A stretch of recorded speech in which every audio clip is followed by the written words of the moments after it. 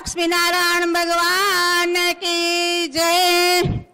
આપ સૌ આવ્યા આમ આંગણે તો અમે હર્ષની લાગણી અનુભવીએ છીએ. આવા વિરાર મેલા મંડળના અનરા અવસરમાં આપ આપ સૌને હૃદયપૂર્વક હાર્દિક સ્વાગત કરીએ છીએ. સુસ્વાગતમ સુસ્વાગતમ સુસ્વાગતમ. વિરાર મહિલા મંડળ વતીથી હું વિરાર મહિલા મંડળના મહામંત્રી શ્રી ગીતાબેન રમેશ પોકાર અમારા આમંત્રણને માન આપીને મુંબઈ મહિલા મંડળના પદાધિકારીઓ અને તેમજ અમારા મોંઘેરા મહેમાન જયાબેન પ્રેમજીયાણી અને બહારથી પધારેલા મહેમાનો અને વિરાર સમાજના સભ્યો, તેમ ભાઈઓ અને બહેનોને હું હૃદયપૂર્વક આવકાર આપું છું. આપ સર્વે જ્ઞાતિજનોને મારા જય શ્રી કૃષ્ણ. શ્રી કચ્છ કડવા પાટીદાર મહિલા મંડળ મુંબઈ વતી હું મહામંત્રી હેમિકાબેન વિરેન્દ્ર પોકાર આપ સર્વે ભાઈ બહેનોનું અહીંયા અત્રેથી સ્વાગત કરું છું. અને સ્વાગત સ્વીકારજો. પ્રેમભરી હૃદયપૂર્વક મારા સ્વાગતને સ્વીકારજો. અને આ કાર્યક્રમની શરૂઆત આપણે સર્વપ્રથમ દીપ પ્રાગટ્યથી કરીશું. તો દીપ પ્રાગટ્ય કરવા માટે હું આમંત્રિત કરીશ શ્રી કચ્છ કડવા પાટીદાર મહિલા મંડળના પ્રમુખ એવા શ્રી શ્રીમતી દક્ષાબેન હરેશ મેઘાણીને હમ. મહામંત્રી શ્રીમતી હેમિકાબેન પોકાર અને ખજાનચી એવા શ્રી શીતલબેન રૂડાણીને વિરાર મહિલા મંડળના પ્રમુખ શ્રીમતી લીલાબેન પોકારને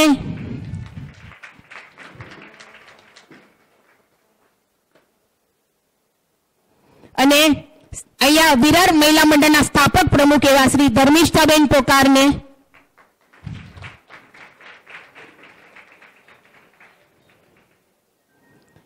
વિરાર સમાજના વડીલ શ્રીમતી શ્રી અગ્રણી વડીલ એવા શ્રી ટ્રસ્ટ ફંડના ટ્રસ્ટી એવા શ્રી પરસોત્તમભાઈ પોકારને, જેવા આપણા ટ્રસ્ટી છે, અત્યારના હાલના ટ્રસ્ટ ફંડના ટ્રસ્ટી છે. અને વિરાર ના મંત્રી એવા યુવક મંડળના મંત્રી એવા ગૌતમભાઈ દેવજી પોકારને આમંત્રણ આપું છું કે તેઓ પણ શ્રી માતાજીની છબી પાસે આવે. આજના કાર્યક્રમના સૂત્રધાર એવા શ્રીમતી જયાબેન પ્રેમજીયાણીને હું આમંત્રણ કરીશ કે આવો દીપ પ્રગટ્ય માટે આપણે આપણા સમક્ષ શ્રીમતી જયાબેન પ્રેમજીયાણી.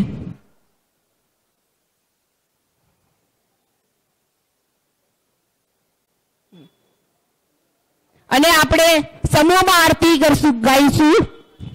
બોલો શ્રી ઉમિયા માત કી જય. માત કી જય. જય ઉમિયા માતા. મા જય ઉમિયા માતા. જય ગિરિરાજ કિશોરી. show.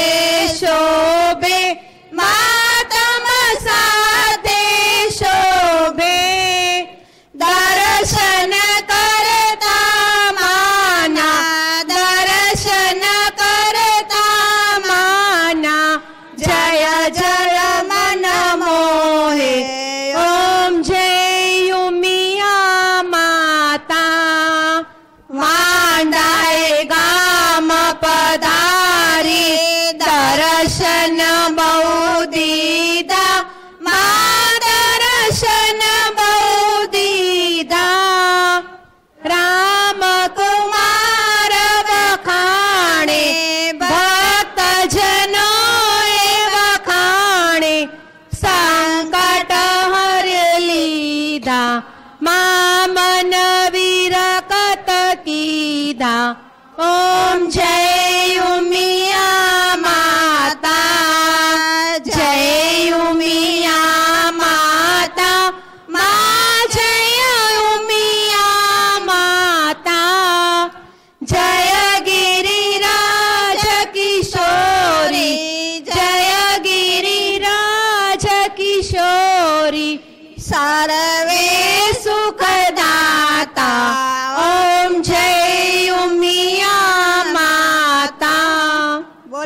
સૌમ્યા માત કી જય. મુંબઈ મહિલા મંડળની સ્થાપના બે હજારની સાલમાં કરવામાં આવી. તો આજે બે હજારનું ઓગણીસનું વર્ષ ચાલે છે એટલે એમને વીસમા વર્ષની શરૂઆત થઈ છે. ને એમના કાર્યો મુંબઈ મહિલા મંડળમાં આપણી મહિલાઓને સંગઠિત કરવાનું એમનું મુખ્ય કારણ છે. અને મુંબઈ મહિલા મંડળ જાત જાતના અનેક કાર્યક્રમો લઈને આવે છે. એના વિશે તમને થોડીક જાણકારી આપું. આપણે આઠ માર્ચનો વિશ્વ મહિલા દિવસનો કાર્યક્રમ છે. એ મુંબઈ મહિલા મંડળ દ્વારા અલગ અલગ જગ્યાએ કરવામાં આવે છે. અત્યારે આ હવે બે હજાર ઓગણીસનો વિશ્વ મહિલા દિવસનો કાર્યક્રમ જે ખારગર ખાતે રાખવામાં આવ્યો છે. એમાં યોગ, યોગના જે જે પણ મહિલાઓ યોગ ક્ષેત્રની અંદર જેમણે ડિગ્રી લીધી હશે એ મહિલાઓને આપણે ઉત્તેજના આપી અને એને આપણે સ્વાગત કરીશું અને એમને આપણે સર્ટિફિકેટ સાથે એમને નોંધ, નામ નોંધાવવાનું છે અને એને આપણે પુરસ્કાર, પુરસ્કૃત કરીશું. તો જે પણ બહેનાઓ બહેનોએ યોગ ક્ષેત્રે પદવી ધારણ કરી હોય, ડિગ્રી લીધેલી હોય, એ પોતાના નામ અઠ્યાવીસ ફેબ્રુઆરી સુધીમાં નોંધાવે જેથી કરીને આપણને કેટલી મહિલાઓ છે એની જાણકારી મળે અને દરેકે દરેક મહિલાઓ એ કાર્યક્રમની અંદર હાજર રહેજો. બહુ સારામાં સારો કાર્યક્રમ આપણે મહિલાઓ માટે આ એક સરસ કાર્યક્રમ છે તો એમાં દરેક મહિલાઓ હાજરી આપજો. અને એવા અનેક ઘણા કાર્યક્રમો મહિલા મંડળ દ્વારા કરવામાં આવે છે, જેવું કે આપણે બાળ બાળ સંસ્કાર કે બાળકો માટેના કાર્યક્રમો આપણે લઈએ છીએ. અને યુવાનો યુવાનો માટેના કાર્યક્રમો પણ આપણે લઈએ છીએ અને જે મહિલાઓ ઘરની અંદર જે નાનું મોટું આપણે બિઝનેસ કરતી હોય, એને પણ આપણે ઉત્સાહિત કરવા માટેનો એક ફનફેરનો કાર્યક્રમ પણ આપણે હંમેશા બોરીવલી ખાતે હમણાં નારી નકશી લીધેલો હતો અને ઘાટકોપરમાં પણ એ કાર્યક્રમ ચાલુ છે. તો આપણે એવા અનેક ઘણા કાર્યક્રમ આપણી મહિલાઓ માટે કરીને આપણે યોજીએ છીએ. તો અને બીજા એક આપણે બાળકો માટેના કાર્યક્રમ છે. પછી મહિલાઓના આપણે શારીરિક શારીરિક આપણને કોઈ તકલીફ હોય એ વિશેના કાર્યક્રમ પણ મહિલાઓ દ્વારા કરવામાં આવે છે. એટલે એનું એક અલગ એટલે કે બધી મહિલાઓને સંગઠિત કરવાનું આ કાર્યક્રમ છે. કાર્યક્રમ આપણે મુંબઈ મહિલા મંડળ દ્વારા કરવામાં આવે છે. એટલે આવા આવા સારા સારા કાર્યક્રમો મુંબઈ મહિલા મંડળ કરે છે. અને બીજું એ કે, અને આજનો જે કાર્યક્રમ, એના વિશે હું થોડીક જાણકારી આપું કે શ્રીમતી જયાબેન પ્રેમજીવાણીના સાનિધ્યમાં આજનો આ કાર્યક્રમ ક્ષણભરની જિંદગી યુગ યુગના સંભાળના ક્ષણભરની જિંદગી યુગ યુગના સંભાળના એટલે આ ક્ષણભરનું આપણું જે નાનું અમસ્તું જીવન છે, એ કેવી રીતે આપણે યાદગાર બનાવી શકીએ, એ વિશેનો આજનો આ કાર્યક્રમ જયાબેન પ્રેમજીવાણીના સાનિધ્યમાં આજે આપણે બિહાર ખાતે યોજવામાં આવ્યો છે. આપ સર્વેની અંદર ઉપસ્થિત છો. તો એક વખત બિહાર મહિલા મંડળ અને યુવક મંડળ માટે જોરદાર તાળીઓ આપણે આ મુંબઈ મહિલા મંડળને માન આપીને જે તમે કાર્યક્રમ કર્યો, એના માટે કરીને ખૂબ ખૂબ તમને શુભેચ્છા આપે છે મુંબઈ મહિલા મંડળ. આવા સરસ સરસ કાર્યક્રમો અનેક જગ્યાએ યોજાતા રહે એવી મારી અભિલાષા છે. અને એક સન્- સન્માન વિધિનો જે આગળનો દોર છે, એ હું વિરાર મહિલા મંડળને સોંપું છું. તો આવો, ગીતાબેન પોકાર, તમે આગળ સન્માન વિધિનો કાર્યક્રમ કરો. મુંબઈથી પધારેલા મોટા મહેમાને આપણે કેમ ભૂલી જઈએ? તેમણે આપણી માટે તો પોતાની અનમોલ અનમોલ સમય કાઢીને અમારા માટે અહીં સુધી આવ્યા અને અમારા પ્રોગ્રામની શોભા વધારી છે. તો આપ અને અમારા પગ, આપણી પણ ફરજ થાય છે કે આપણે તેમને ફૂલના ગુલદસ્તાથી સન્માન કરી તો સૌ પ્રથમ હું મુંબઈ મહિલા મંડળના પ્રમુખ શ્રીમતી દક્ષાબેન મેઘાણીને આમંત્રણ આપું છું કે આપ આવીને આપનું સન્માન ગ્રહણ કરો. સન્માન કરશે વિરારના મહિલા મંડળના પ્રમુખ લીલાબેન પોકાર.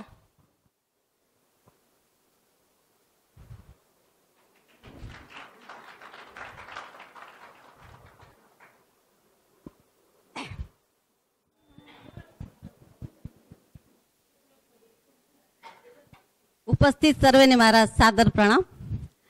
આ શુભ સંદેશામાં તો એવું જ કે આપણે આ જે કાર્યક્રમ ગોઠવ્યો છે એ આપણી સમાજ માટે જ છે અને વક્તા એવા શ્રીમતી જયાબેન પ્રેમજીયાણી, જેઓ આપણને ખૂબ જ સરસ રીતે આપણને આ કાર્યક્રમનું સંચાલન કરીને વ્યવસ્થિત સંભળાવશે, સમજાવશે અને એના સિવાય આપણો આ ઉદ્દેશ્ય એ જ કે આપણે ફરતે બધે પ્રોગ્રામ રાખીએ તો બધી જગ્યાની બહેનો આ કાર્યક્રમનો લાભ લઈ શકે અને આપણામાં સાથ સહકાર અને સાથે મળીને કાર્ય કરવાની ક્ષમતા વધે. એ જ રીતે આપણી મહિલા મંડળ મુંબઈનો એક એ જ ઉદ્દેશ્ય છે કે આપણે બધી જગ્યાએ સાથે મળીને કામ કરીએ અને આ મહિલા મંડળને કે મહિલાઓને દિન પ્રતિદિન સારી દિશામાં આગળ વધવાનો પ્રયત્ન કરીએ એ જ વસ્તુ. અને વધારેમાં વધારે હું વિરાર, ત્રણે પાંખો એનો ખૂબ આભાર માનીશ કે અહીંયા આટલી સારી વ્યવસ્થા કરી અને આ કાર્યક્રમને આપણે અહીંયા લીધો. એમાં લીલાબેનનો પણ પૂરેપૂરો સહયોગ છે અમને કે તેઓએ ખૂબ જ અમને કીધું કે નહીં, અહીંયા કાર્યક્રમ કરો, આપણે ઉજવશું. તો આપણે લીલાબેનનો ખૂબ ખૂબ આભાર. અસ્તુ. ધન્યવાદ. Thank you Dakshaben. હવે ત્યારબાદ મુંબઈના મહિલા મંડળના મહામંત્રી શ્રીમતી હેમિકાબેન પોકારને વિનંતી કરું કે અમારા સન્માન ગ્રહણ કરે. એનું સન્માન કરશે. વિરારના મહિલા મંડળના મહામંત્રી શ્રીમતી ગીતાબેન પોકાર.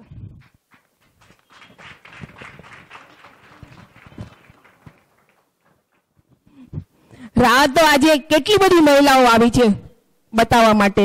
અને ખરેખર મને બહુ જ આનંદ થાય છે કે આટલી બધી સરસ મોટી સંખ્યામાં હાજર રહીને આપણે આ કાર્યક્રમને એકદમ સુશોભિત કર્યો. અને આપણે બહુ સાથે મળી અને સંગઠિત થઈને આવા સારા સારા કાર્યો કરીએ. અને આપણે મહિલાઓ એક ઘરની એક જ ઘરની છીએ. ભલે અલગ અલગ ઘરની અંદર આપણે વસીએ છીએ, પણ આપણે આપણી જ્ઞાતિ માટે એક જ છીએ. મારું ઈ જ એમ એક આશીર્વાદ છે બધા માટે. અને મને પણ તમે બધા આશીર્વાદ આપો કે આવા સારા સારા કાર્યોને આપણે આગળ ધપાવીએ. અસ્તુ. Thank you Hemlataben. ત્યારબાદ મુંબઈના મહિલા મંડળ ખજાનચી શ્રીમતી શીતલબેન લુડાણીને કહીશ કે આપ આવો અને આપનું સન્માન ગ્રહણ કરો. અને તેમનું સન્માન કરશે વિરાલના મહિલા મંડળના ખજાનચી શ્રીમતી ગીતાબેન ચૌધરી.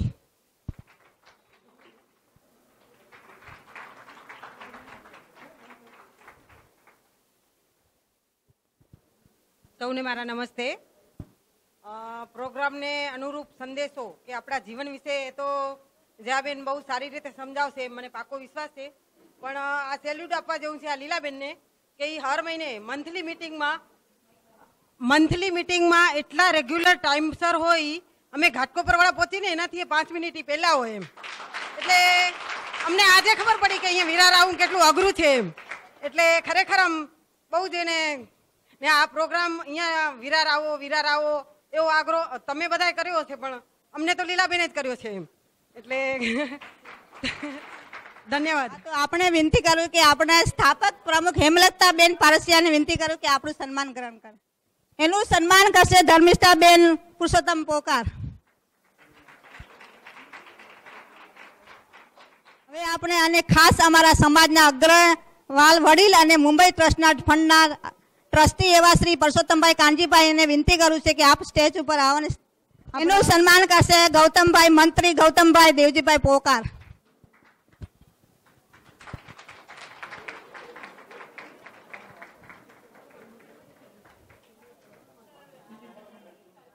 હવે આપણે જેમની આતુરતાની રાહ જોઈ રહ્યા છીએ, એને હવે આપણે વક્ત તરીકે સાંભળ્યું છે અને તેને આપણા સૌને લોક લાડીલા અને આપણી સમાજના ગૌરવ તેમજ સમાજને સદૈવ સાચવી દિશા આપનારા એવા વક્તા જયાબેન પ્રેમજીયાણીને વિનંતી કરું છું કે આપ સ્ટેજ ઉપર આવો.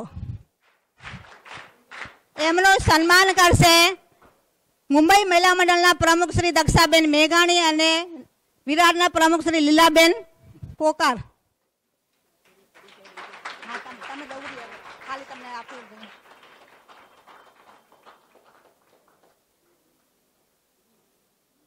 મુંબઈ મહિલા મંડળના મહામંત્રી હેમિકાબેન કહીશ કે જયાબેન વિશે આપને માહિતી આપે અને હેમિકાબેન આવો અને આગળનું સંચાલન સંભાળો.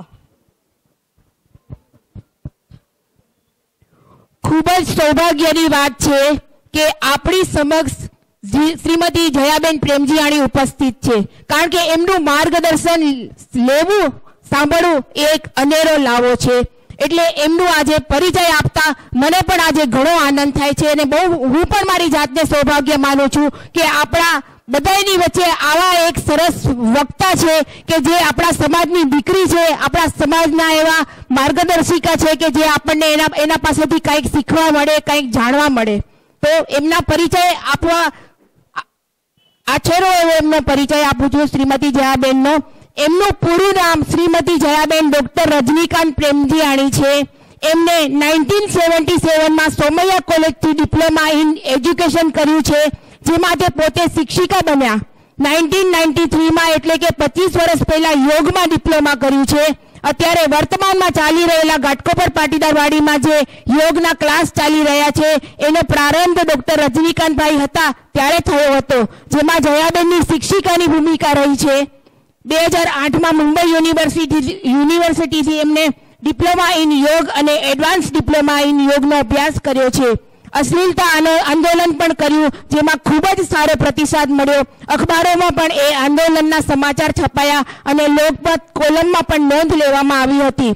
સોળ સંસ્કારની ઋષિ પરંપરાને નવ પલ્લવિત કરવાના પ્રયાસ કરીને નવી પેઢીના નવનિર્માણ માટે ગર્ભસંધાન સંસ્કાર પુરુષોવન સંસ્કાર, સીમંતોન્મન સંસ્કાર, જાતકર્મ સંસ્કાર વગેરેના આયોજન પણ કર્યા છે. પચીસ કપલથી પચાસ કપલના કાર્યક્રમો આપી પાટીદારવાડીમાં તથા પરિવારોમાં પણ તેમણે બહાર કાર્યક્રમો કર્યા છે, જેમાં હાઈલી એજ્યુકેટેડ કપલે પણ એમાં આનંદથી ભાગ લીધો છે. ટીનેજમાં કમ્પ્યુટર અને મોબાઈલના થતા દુરુપયોગ કોન્સેપ્ટમાં પણ એમની કોન્સેપ્ટ સ્ટોરી અને સ્ક્રિપ્ટ અને ટાઇકલ સોંગ પણ એમને લખ્યું છે. સંસ્કૃત ભાષા માટે એમને ભરપૂર માન અને રુચિ છે.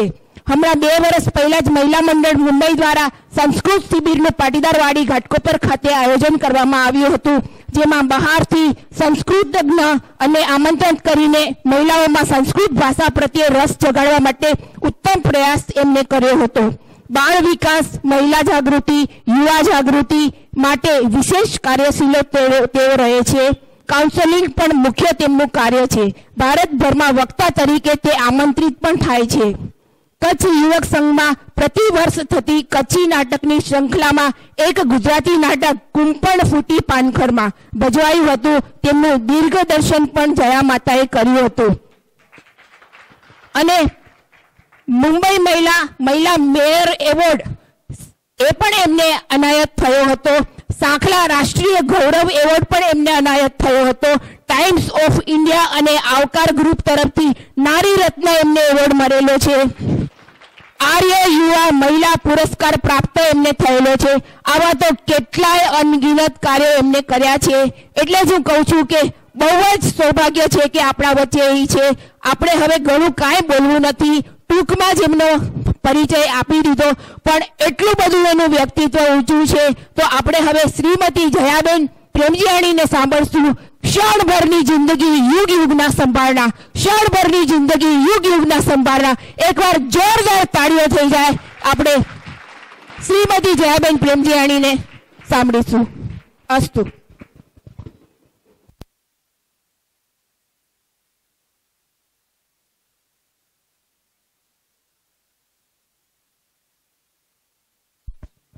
હેલો હેલો હેલો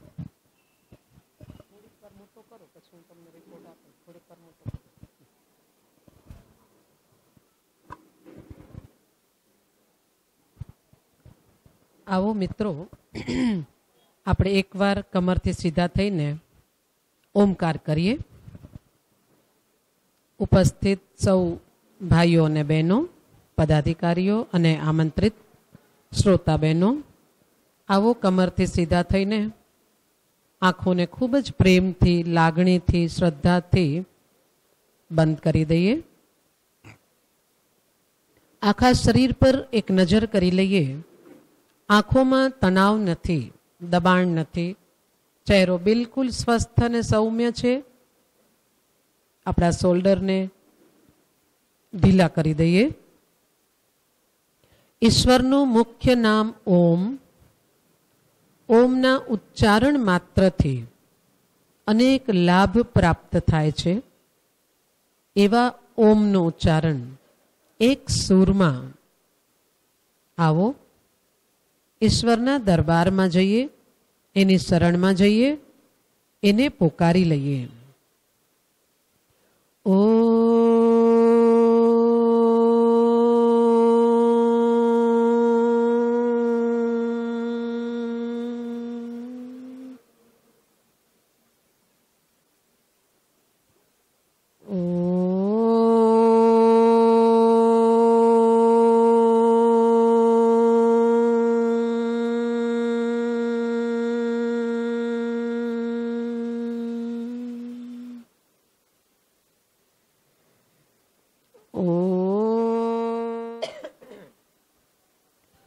आंखों ने बंद ज રાખીએ મિત્રો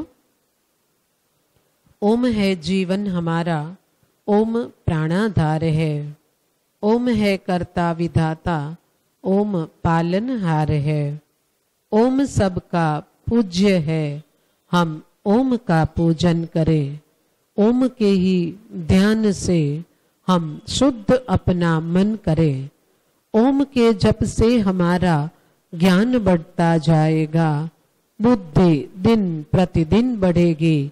धर्म में होगी लगन। अंत में यह ओम हमको मुक्ति तक पहुंचाएगा। ओम है जीवन हमारा। ओम प्राणाधार है।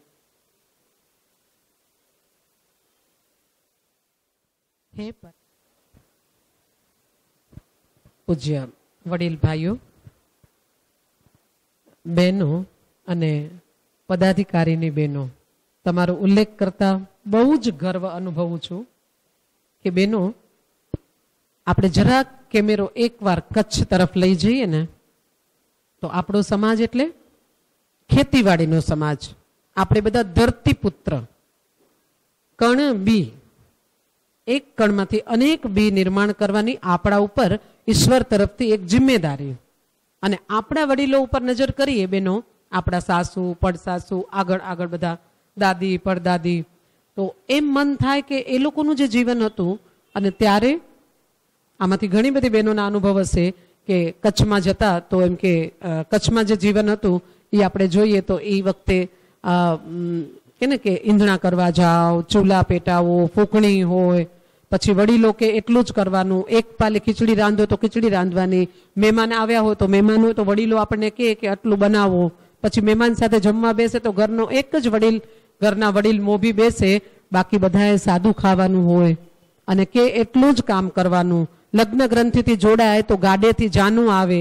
અને જે દીકરી લગ્ન કરતી હોય, પરણતી હોય કન્યા, આજની કન્યાને ઈ વખતની કન્યા આ કમ્પેરિઝન કરીએ ને બેનો, તો આખી કોટનનું એનું ગળચોડું હોય ને વીટી ચૂંટીને પેકમ પેક કરીને આ મુઠ્ઠી વાળીને બિચારીને પકડાવ્યું હોય, એને કોઈ દિવસ એના પતિને ક્યારેય જોયો નથી, કોઈના વિશે કાંઈ ખબર નથી, સાસરિયાની કાંઈ ખબર નથી.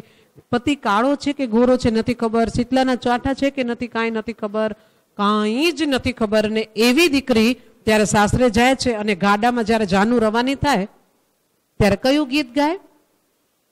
માડી હું તો ગઢડો જીતીને ઘરે આવ્યો રે. ઉલાજમાં બેઠી કન્યા, વિચાર કરે કે ગઢડો જીતીને એટલે આ શું હશે? અને પછી માડી હું તો પાણી ભરનારી તેડી લાવ્યો માડી હું તો રસોઈ કરનારી તેડી લાવ્યો, એવા જે ગીતો ગવાતા હોય, માવતર પરિવારને મૂકીને હવે એકલી અટોલી લાજમાં વિટાઈ ચૂંટાઈને નીકળી છે, એને કાંઈ સાસરિયાની ખબર નથી, એવી દીકરી લકી ડ્રો કહેવાય. લકી ડ્રો એના માટે હોય છે એ દિવસ, અને પછી તમને બધાને કેટલાને, ઘણી બધી બહેનોને ખબર હશે. એની પાસે ચાંદલા હોય, એની પાસે તજ લવિંગ હોય, એની પાસે એલચી હોય, તો એની નણંદ છે, પાડોશી છે, ભત્રીજો છે, ભત્રીજી છે બધાનું ને એનો હવે આજે નવો રિશ્તો બનવા જઈ રહ્યો છે. એ નવો રિશ્તો બનતો હોય, ત્યારે કોઈને એલચી દે, કોઈને આ દે, સામેવાળા પણ અપેક્ષા કરે કે એ અમને સોપારીનો કટકો દેશે. એમ કરીને એ લોકોની સામસામેની એક રીત ચાલુ થાય મળવાની. એક સંબંધોની શરૂઆત થાય. એવો એક સમય. હું ઘણીવાર પ્રવચનોમાં કહું છું કે આપણી માતાઓએ ને આપણી સાસુઓએ જ્યારે રેંજકો વાઢ્યો હોય, કે જ્યારે એને ખેતીવાડીના કામ કરતા હોય, અને આમ કિનારે કિનારે ઢાળીએ ઢાળીએ ગાજર વાવ્યા હોય, અને એને ગાજર ખાવાનું મન થઈ જાય, તો એ કેળેથી વાંકા વળીને ગાજર સીધું જ જળમૂળથી ઉખડી લે અને કાંબીને કડલા પહેર્યા હોય ને પગમાં, આમ જ પગ જરા કૂચો કરીને ખર ખર ખર, ભાઈઓ એવું સરસ સાંભળી રહ્યા છે ને, કારણ કે ખેતીવાડીની એને ઘણી ખબર છે ને તો એમ કે એ તરત જ કાંબીને કડલાથી એકદમ એમાં જેવી ધાર હોય એનાથી એ ગાજર આમ પાણીના છાંટા ઉડે બેનો. આમ રસના છાંટા ઉડે. શું આજે આપણે ગાજર લઈએ છીએ? શું આજે ચાલીસ રૂપિયા ને ત્રીસ રૂપિયા કિલો ગાજર ક્યાંથી બનતા બનતા આવે થતા થતા રોલતા રોલતા આવે અને એ આપણા ઘરે, આપણા ફ્રીજમાં આવીને બિચારા બેસે, પછી એ સવારના નીકળે એ ગાજરની સ્થિતિ જુઓ અને અહીંયા આગળ આપણા સાસુ કે આપણા માતા કે આપણા દાદી ઈ કાંબીને કટલાથી ખર ખર કરીને એ જે ગાજર કડાકો કરીને ખાય અને ખાય અને આમ સામેથી સસરાજી દેખાય, તો બાયુ અમારા સાસુના મોઢે સાંભળેલી વાતો છે. અને એ ગાજર ખાતા સસરાની સામે એમ ગાજર ન કવાય. હવે આજે તો આપણે દુપટ્ટા વગર સસરાની સામે છીએ. જવા દો બધી વાતોને. પણ એમ કે આજે ગાજર ખાવું હોય તોય સસરા સામે ન ખવાય, તો કેળમાં ગાજર ખોસી દે ને આમ પાંદડા લટકતા હોય અને આવો ઘૂંઘટો કાઢી લે અને ઘૂંઘટામાંથી જોઈ લે સસરાજી છેટા થયા કે ન થયા અને આમ જતા જણાય, એટલે પાછું ગાજર કાઢી અને એકદમ મસ્તીથી વિટામિન એ ગ્રહણ કરે. બરાબર? ઈ આપણો કચ્છ, ઈ આપણે બધા, ઈ આપણે કણબી. કેવા? સવારના સૂચણીયા આપણે હવે પર્સ લઈને જઈએ ને, આપણે કેટલી બધી પર્સ પણ હોય ને બેનો? આ મને નકડી જે પેઢી છે ને, એની તો કેટલી બધી મેચિંગ પર્સ હોય. અમારા જેવાની હજી એક હોય, પણ તમારે બધાની બહુ ઘણી બધી હોય. ત્યારે આપણે પર્સ લઈને ચાલીએ છીએ, ત્યારે એ જમાનામાં આપણા દેશની અંદર જે એ લોકો છાસ કરે ને જે છાણ વાસિંદા કરે ને એ જે એનું એનું જે દળવાનું કામ હોય, ઘંટી ચાલુ કરે ને, એમાં જ્યારે એ લોકો એકદમ, આપણે શું કહીએ સિતોણી લઈને સિતોણિયું નહીં. હે પ્રભુ. સિંચણિયું સિંચણિયું સોરી સિંચણિયું લઈને કુવા એકદમ ઊંડા હોય તો બહુ જ વજનદાર સિંચણિયું લઈને, માથે હેલું લઈને, કમરમાં એક હેલ લઈને, એક હાથમાં લઈને બિચારી કુવે જતી હજી સૂરજ ઉગ્યો ના હોય બેનો. અને એ પછી જે સિંચણિયાથી જે સિંચી અને જે એ ગાગરને હેલું ને આ ને ગળાને ભરીને જે ઘરે આવે અને પછી એમ કે એકદમ રોટલા થઈ ગયા હોય ને થતા હોય ને બાજરા ને જુવાર ને મકાઈ, ચાલુ આપણે અહીંયા વિટામિન એ માટે નાચણી લેવી પડે. એ લોકોએ કોઈ ડોક્ટરે નહોતું કીધું ને કોઈ નહોતું કીધું, પણ એ લોકોએ એ વખતે નાગલીના રોટલા ખાઈ અને ભરપૂર વિટામિન એ ગાજરમાંથી ને નાચણીમાંથી ને કેમાં કેમાંથી. હવે આજે વોટ્સએપ પર આવે છે કે ઘઉં નહીં ખાવાના. ઘઉં આપણી ઇન્ડિયાની ભારતની આઈટમ જ નથી. એ અમેરિકા અને ફોરેનની આઈટમ છે, એટલે એ તો આપણા શરીરને માફક જ નથી. તો આપણા વડીલોને શું થયું? એ લોકોએ ક્યાં ઘઉંની રોટલી ખાધી? આપણે અહીંયાથી વેકેશનમાં જતા ને રોટલા જોઈ જોઈને ક્યારેક આપણે બચપનમાં કીધું હોય કે આજે રોટલી કરો ને દાડીમાં. તો દાડીમાં કે, અહીંયા અમારા કચ્છમાં રોટલી ન હોય, તમારે મુંબઈમાં ખાજો. એમ કરીને રોટલી એ જોવા ન મળતી. આજે આપણને ડોક્ટરો ના પાડે છે, ત્યારે ત્યાં તો પહેલેથી જ એ લોકોએ ભારતનું અનાજ ખાધું. આપણી, આપણું જે હવામાન, આપણું જે પાણી, આપણી જે જમીનની યોગ્યતા જે અનાજની હતી એ પ્રમાણે એ લોકોના ખોરાક હતા. ઈ એનું લોહી. બેનો, એકદમ આ પકડવાનો છે કે એ વડીલોનું લોહી આપણી અંદર અંદર ફરી રહ્યું છે. આપણા રગ રગની અંદર એ રક્ત છે. તો આપણે એ લોકોની માન મર્યાદા અને એ લોકોની જે રીત રસમ ક્યાંક ફેરફાર કરવા જેવું છે, પણ ક્યાંક લેવા જેવું પણ છે. અને અહીંયા મને વાત એમ કરવી છે કે આજે આપણને નથી ખેતર અને સીમમાં જવું. નથી આજે આપણને વાડીએ જવું, નથી આપણને આમ આમ દળવું, નથી આપણને પાણી ભરવા જવું કે નથી આપણને છાણ વાસિંદા કરવા. આપણે તો આપણા ઘરમાં તો હવે જરાક એક નજર ફેરવી લો આપણા ઘર ઉપર, આપણા જીવન ઉપર. ઝાડુ ફટ્ટા માટે અમારા મુંબઈમાં છે બેનો અહીંયા આજે તમે લોકો મને ખબર છે કે બહુ જ પરિશ્રમ કરો છો, મહેનત કરો છો. તમે કદાચ ફટ્ટાવાળી બાઈ નહીં રાખી હોય, પણ ત્યાં છે. અને હવે વોશિંગ મશીન. તો વોશિંગ મશીનમાં કેવા મસ્ત કપડાં નાખી દઈએ અને એકદમ ફર્યા રાખે ફર્યા રાખે અને જ્યારે ધોવાઈ જાય, મસ્ત સુકાઈ જાય, એટલે આપણને હાકલ કરે. આપણને હાકલ કરે. હાકલ કરે એટલે આપણે દોડતા જઈએ ને દરવાજો ખોલીએ અને મસ્ત સુકાયેલા, અડધા સુકાયેલા કપડાં કાઢી અને બેનું, તમે રાજી થાવ કે ન થાવ? સાચું બોલજો. ના રે, ના. હવેની દીકરીઓને એમ થાય, આ કપડાં સુકાવાના છે. બેનપણીનો ફોન આવ્યો હોય ને, તો એમ કે આ જો ને કપડાં મશીન થઈ ગયું, હવે કપડાં સુકાવાય આ રોજવાળું કામ એમ કહેવાય જાય છે, એવું સાંભળ્યું છે. એટલે આજે હું દ્રષ્ટિ આપવાનો પ્રયાસ કરું છું કે આપણને ફક્ત સુકાવાના જ છે, પલાળવા નથી, ઘસવા નથી, ખંકોળવા નથી, નીચોવવા નથી, ફક્ત સુકાવવા છે. અને જે અડધો દી લાગી જતો સુકાતા એ સુકાઈએ બે કલાકમાં જાય છે. એટલે ઘડી કરીને પાછા નાખી દેવા હોય કબાટમાં, તોય વાર લાગતી નથી. ત્યાં આગળ ફૂંકણીથી એકદમ કે ને કાંસી ઓલે વાઢીને ને બધું આ ને તેને ઈંધણાને તો હવે એક પેલા એમ કે શું કહેવાય આપણે? અમે લોકોએ કરેલું છે કે મુઠિયા કરીએ, થાળી કરીએ, હે ને? તો એ બધું એમ કે માટી લઈ આવીએ ને કોલસા લઈ આવીએ ને એના પાવડર કરીએ ને પછી એમાંથી બધું કરીને સગડી પેટાવતા. તો અમે નાના હતા તો રમત રમતમાં સગડી ભરીએ બધી બેનપણીઓને, બધા ચાલીમાં રહેતા હોય તો બધા એકબીજાનું પ્લાન કરીને અને પછી સાંજે સગડી પેટાવાય. સગડી પેટાવાય તો ઘાસ તેલ યુઝ ન કરાય. બેનો, આમાં ઘણી દીકરીઓને નહીં ખબર હોય. તો ક્યાંક આજુબાજુમાં બિલ્ડિંગના કામ ચાલતા હોય ને, તો ત્યાં આગળ જ્યારે રંધો ખેડાતો હોય, બધું લાકડાનું કામ ચાલતું હોય ને, ત્યારે અમુક દિવસે છોલ ભેગી થાય. અને એ છોલના સમાચાર મળે કે આજે ઓલા મકાનમાં છોલ જડેરી તો અમે નદી કે પર્વત રમતા હોઈએ કે કાંઈ પણ ઘર ઘર રમતા હોઈએ અને દોડીને ગુણ તૈયાર જ હોય. અને જેવા જેવી ખબર પડે ને, એટલે રેસિંગ લગાવીએ અને મેરેથોન રેસ લાગે અને એકદમ ગુણી લઈને ભાગીએ. જે પેલું જાય એ મેન્નું ને લુચ્ચું પાકું હોય એ ફટાફટ ગુણ ભરી લે. એ જે ગુણ ઘરે ભરે ઘરે લઈ જઈએ એ મા એને હાચવે અને સાંજે સગડી ભરીએ ને, ત્યારે એ છોલ નીચેની સગડીમાં નાખીએ અને એને પેટાવી અને સગડી ભરીએ. સગડી ચાલુ કરીએ. એમાં ધીમા આંધણે ખીચડીયું થાય. મસ્ત આજે આયુર્વેદ કહે છે. હવે આપણી નજર ગઈ છે કે આપણા જે કુકર છે ને એ કુકરમાં આપણે જે દાણો નાખીએ છીએ ને એ ફાટે છે. શું થાય છે? ફાટે છે. ચડતો નથી. એ ચડતો નથી. ચડે ક્યાં? સગડીમાં. ચડે સગડીમાં. ધીરે ધીરે ઉકળે, પછી ઉકળતું જાય ઉકળતું જાય, તાપ ધીમા થતા જાય, થોડીક વાર પાસ થતા જાય. એમાં જે ખીચડી થાય, એની જે સુગંધ હોય, એનામાં જે સત્વ તત્વ હોય એ આજે આપણી દસ કે પંદર મિનિટમાં થઈ જતી ખીચડીની અંદર એ તાકાત નથી બેનો. પણ મારું કહેવાનું એમ હતું કે સુખ તરફ જઈ રહ્યા હતા આપણે, કે પછી એમાંથી ધીરે ધીરે પ્રાઇમસ આવ્યા, તો પ્રાઇમસમાં એમ કે, તો પછી એમાં પિન મારવી પડે તો તકલીફ પડતી, પણ એ બધું જ કરી લેતા હતા.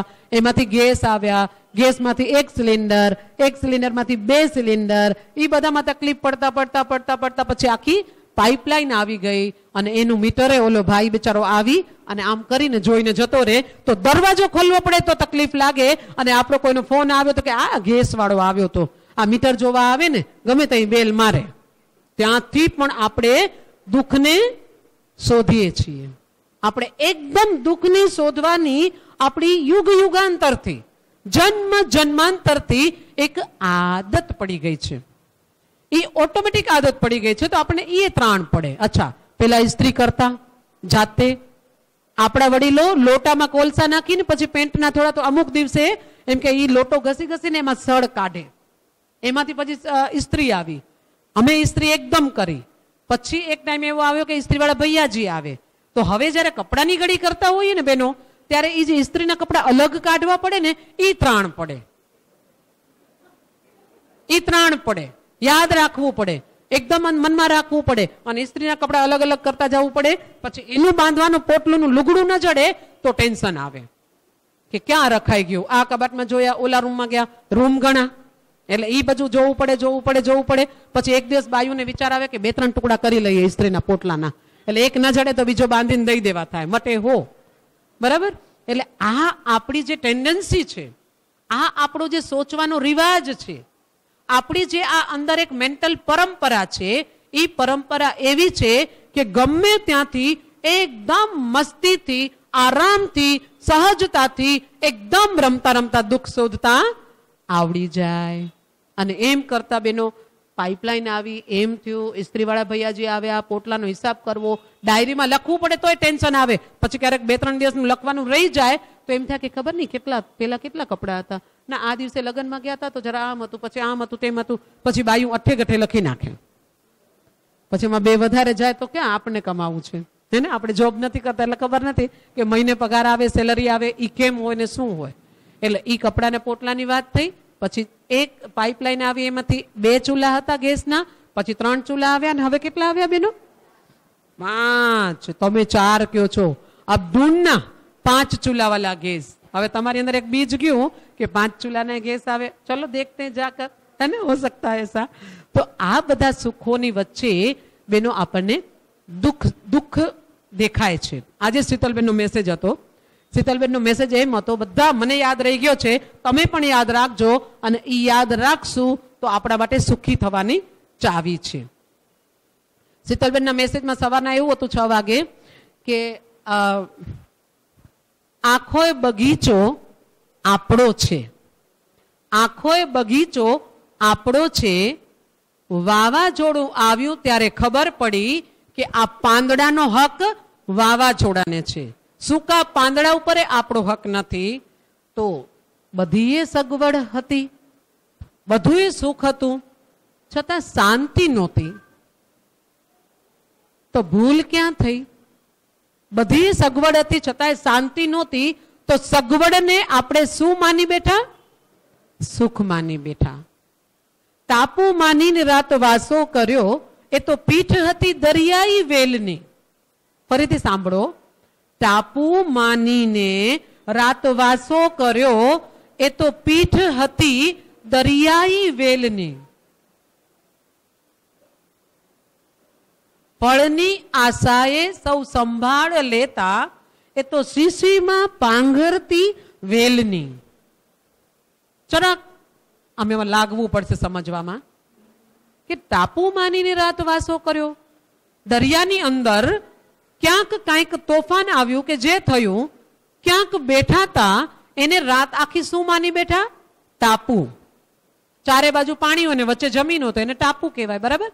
તો એમાં આરામથી નિશ્ચિંત બનીને બેઠા હતા.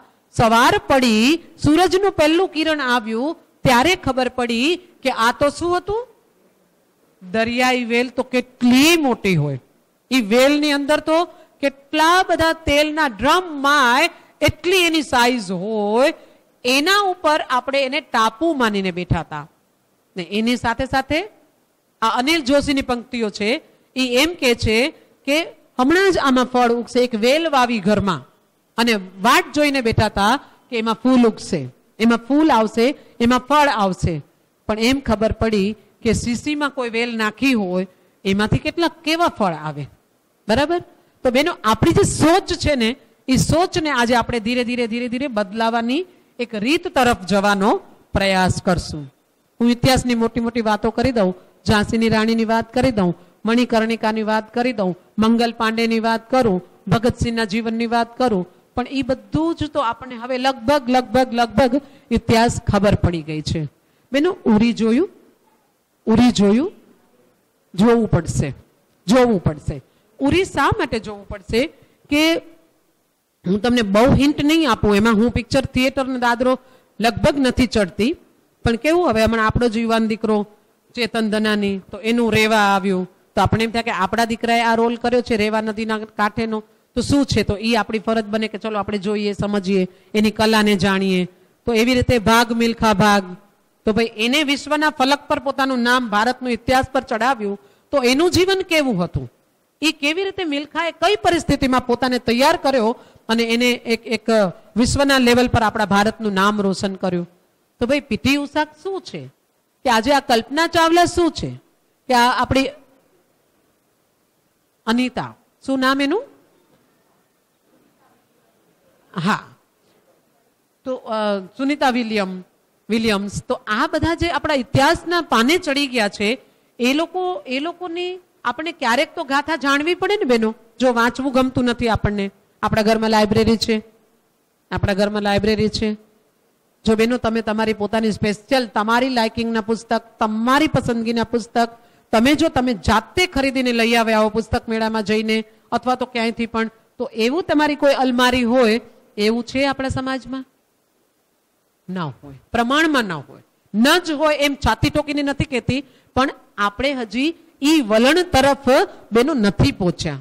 આજે કોઈના નવા ઘરે જઈએ ને વાસ્તુમાં, તો બહુ સરસ આખું ફર્નિચર વેલ ફર્નિશ્ડ ઘર હોય અપ ટુ ડેટ ઘર હોય, અને બેનો ઘર બતાવે, પરિવાર, મહેમાનો આવ્યા હોય ને એને અને એ ઘર બતાવે એમાં એક એક ખાનું શેનું હોય? એક શોકેસ મેકઅપનું હોય. એમાં બધી જ ટાઈપના, ભરપૂર મેકઅપના પ્રસાધનો હોય. અને બેનું કે કે જો આ ખાંચો છે ને, વેસ્ટ જતો હતો એટલે ઇન્ટિરિયરે આ ખાંચાને મસ્ત એકદમ ફર્સ્ટ ક્લાસ બનાવી દીધો. આમાં મારો બધો મેકઅપનો સામાન આવી ગયો. મેકઅપનો સામાન આવી ગયો એમ કે, ત્યારે એના બ્રેનની અંદર, એની પિટ્યુટરી ગ્રંથિની અંદર એની પિનેલ ગ્રંથિની અંદર એક એક કેમિકલ મેસેન્જર છે. ત્યાં આગળ મેસેજ પહોંચે અને ત્યાંથી એવો મેસેજ પહોંચે કે ડોપામિન, સેરેટોનિન, પછી બીજો એક હજી હોર્મોન્સ છે, કહું તમને યાદ આવશે એટલે આ બધા હોર્મોન્સ સિક્રેટ થવા માંડે. શેના લીધે? મેકઅપનું ખાનું બની ગયું ને એના લીધે.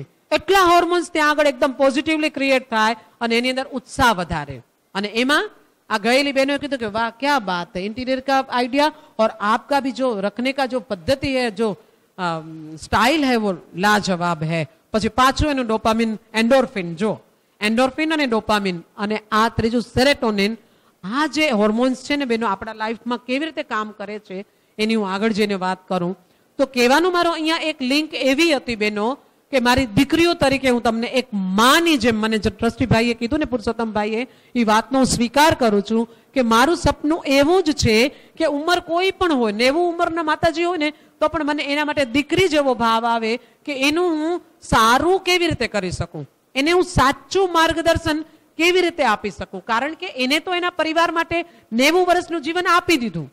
એને એની ફરજો બજાવી દીધી. પણ એનું જે એની જે ઉન્નતિ થવાની હોય, થવી જોઈએ, એમાં ક્યાંક વારી ફેરી હોય, તો મને એમ થાય કે હાલો, આટલીક જરાક એના કાનમાં એક વાત નાખી દઉં. કે મારી માં, હવે તું ગોદડામાંથી માયા મૂકી દે. હવે ગોદડાનો ટાઈમ પૂરો થયો.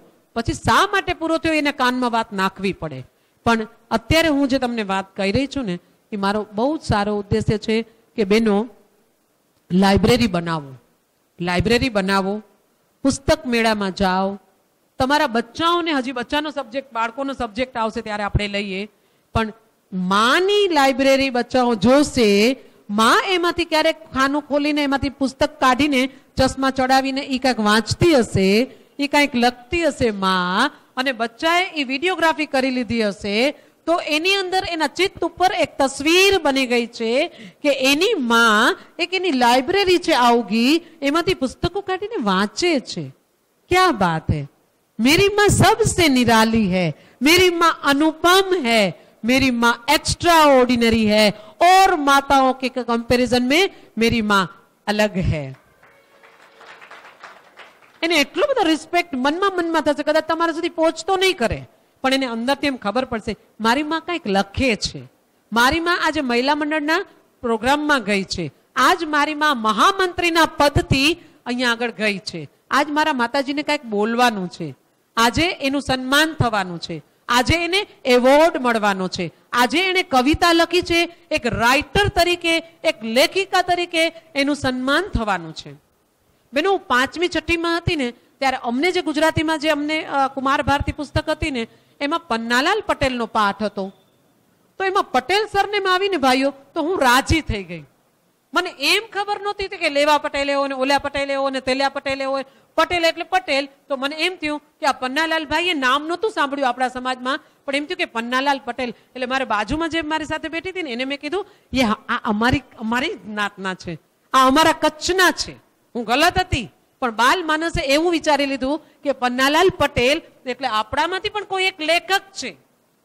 પછી દસમી સુધી ગઈ, અગિયારમી, પછી આગળ કોલેજ ગઈ, ત્યારે એમ ખબર પડી કે પન્નાલાલ પટેલ તો કઈ આપણા કણબી નથી. અરે, રે રે રે. એ તો કણબી ખપતા હતા. કાંઈ વાંધો નહીં. પછી બહુ ખોજબીન કરી, દૂર સુધી દૂરબીન, કેમેરા, બધું લઈ જઈને તપાસ કરી. તો આપણા સમાજમાં લગલગ, લગભગ લગભગ કોઈ એવા પુસ્તકોના અભ્યાસક્રમમાં કોઈ લેખક પહોંચી ગયા હોય, એવું કોઈ ન જડ્યું. કોઈ ન મળ્યું. પછી એક ટાઈમ એવો આવ્યો, આજથી છ સાત વર્ષ પહેલા, મને પીએચડી કરવાનું મન થયું. ડોક્ટર તો બનવું હતું, પણ એ સમયમાં અમારી માતાઓના રિવાજમાં ડોક્ટર બનવા ન મળ્યું. પછી એમ થયું કે ના, ચલો ડિપ્લોમા ઇન એજ્યુકેશન કરી લો બે વર્ષમાં કમ્પ્લીટ થઈ જાય, પછી સગાયું કરે ને સાસરે વળાવે ને પછી એવું સાંભળ્યું હોય કે જો બહુ ભણાવો તો પછી વળી સાસરું ન થાય, પછી એમ કે એને પસંદ ન કરે, પછી એ જો બહુ ભણેલી હોય પછી નોકરી કરતી હોય તો એ રસોડો નહીં સંભાળે, તો પછી દીકરી ઘરે કુંવારી રહી જશે, એટલે મા બાપ ભણાવવા ભણવા ન દે, ધ્યાન ન દે, પછી મને સોમૈયા સ્કૂલમાં જોબ મળતો હતો તો ચોરી છુપી ચોરી છુપી એપ્લિકેશન દેવા ગઈ હતી મંદિરનું નામ લઈને.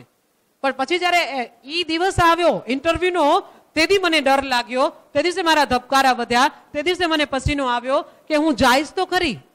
પણ હું ત્યાંથી જ એ સ્કૂલ સાથે કનેક્ટેડ હતી, પંદર દિવસ ભણાવવા જવાનું હતું, ત્યારે એ લોકોએ મારા, એના પ્રિન્સિપાલે મારા માઇન્ડમાં બહુ જ નાખ્યું હતું કે તને અહીંયા એક ટીચરની જરૂર છે ને તને અહીંયા આગળ અમે એકદમ પાસ કરશું અને ફોર્મ ભર. મેં ફોર્મ તો ભરી દીધું. માતા પિતાને કીધા વગર. હિંમત તો કરી દીધી. હવે આજે તારીખ પડી છે. આજે ઇન્ટરવ્યુ આપવા જવાનું છે. વન બાય વન કેટલા કેન્ડિડેટ હશે એમાં તું પણ હોઈશ. તારા તારા ત્યાંના તને મેનેજમેન્ટે તો કીધું છે કે તને લેશે. પણ ઈ તને જો લઈ લેશે, તો કોઈની એક સીટ તોડ્યાનો તને કેટલો અપરાધ થશે? કેટલું નુકસાન થશે?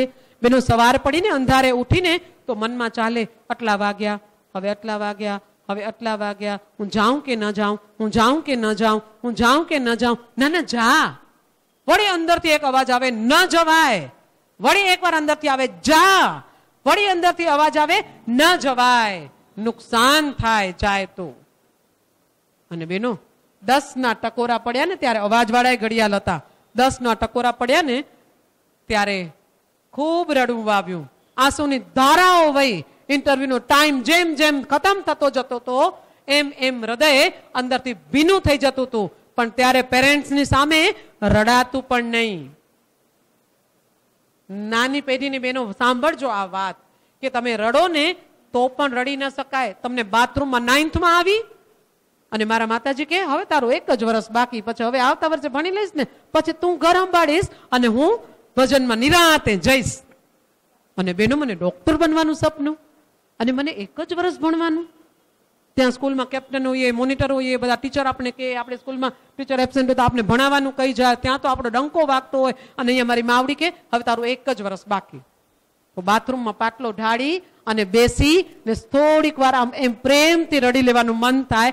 ખબર હતી કે કોઈ ચારો નથી અને ન ભણ્યા સિવાય કોઈ આરોય નથી. નહીં જ ભણાય. અને પછી બેનો બીકોમ કરો, તો પાંચ વર્ષ લાગે.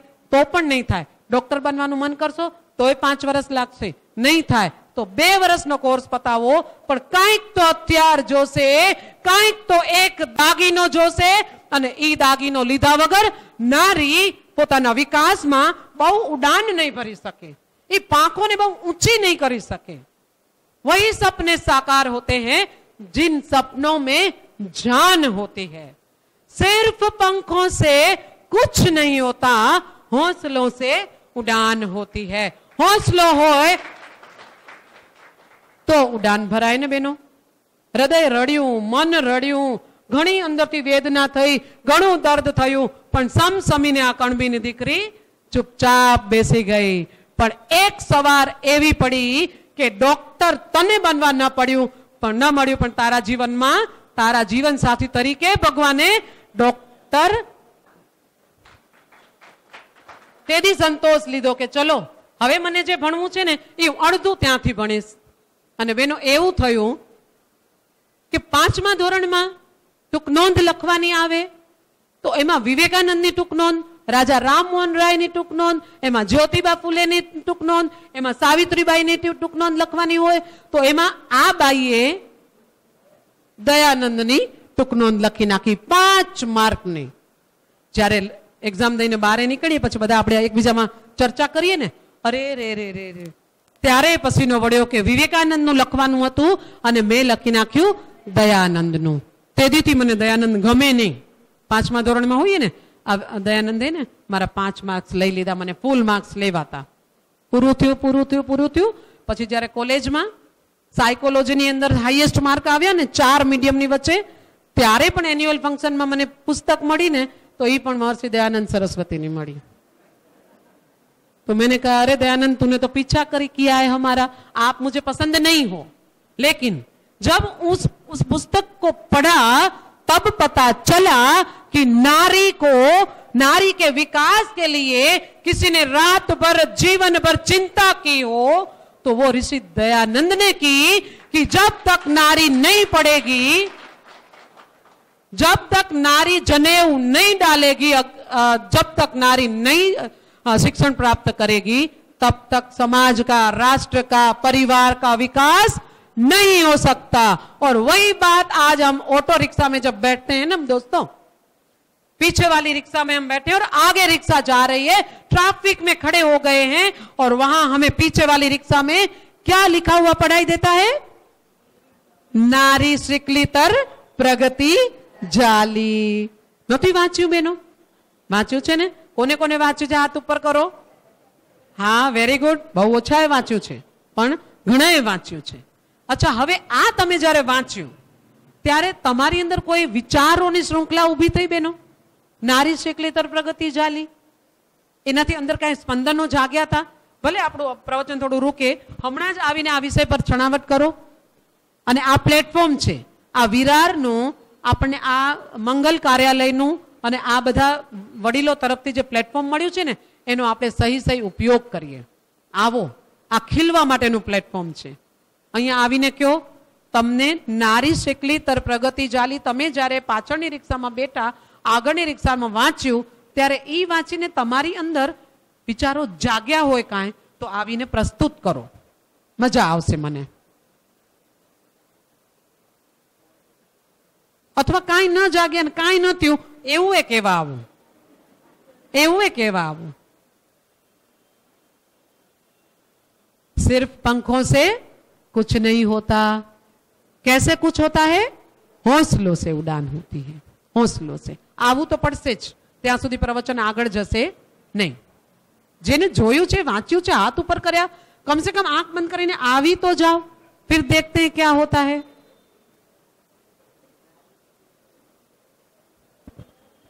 અને આવીને બોલવાનું છે સત્ય. એકદમ. બધાને મારા નમસ્તે. વાંચ્યું છે અને બહુ વધારે વિચાર નહોતો આવ્યો, પણ એમ થયું કે એના બાળકોને અને એના પરિવારને એ ભણેલી છે તો એ મતલબ એ બાળકોમાં સંસ્કાર નાખશે અને ઘરમાં એ એ ભણેલી હશે એટલે તો બધું વાંચવાનું કે ખાવા પીવાનું કેવી રીતે બનાવવું કે શું બધું, એટલે એ એટલો પ્રગતિ થશે. અભણ હોય તો એમાં થોડોક ફરક પડે. એ ખાલી વિચાર આવ્યો હતો કે ના, સાચી વાત છે કે મુલગી શીખલી, તર પ્રગતિ ઝાલી એમ. અને અભણ હોય તો એમાં ફરક તો પડે જ છે એમ.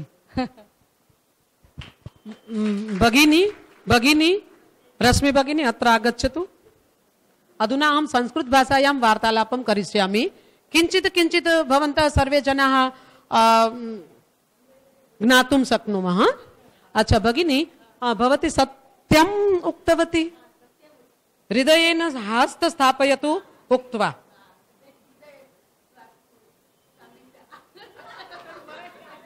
કાંઈ વાંધો નહીં કાંઈ વાંધો નહીં કોઈ પણ વસ્તુનો પ્રારંભ કરવો ને એ બહુ જ મોટી વસ્તુ છે તમારો આભાર, ધન્યવાદ.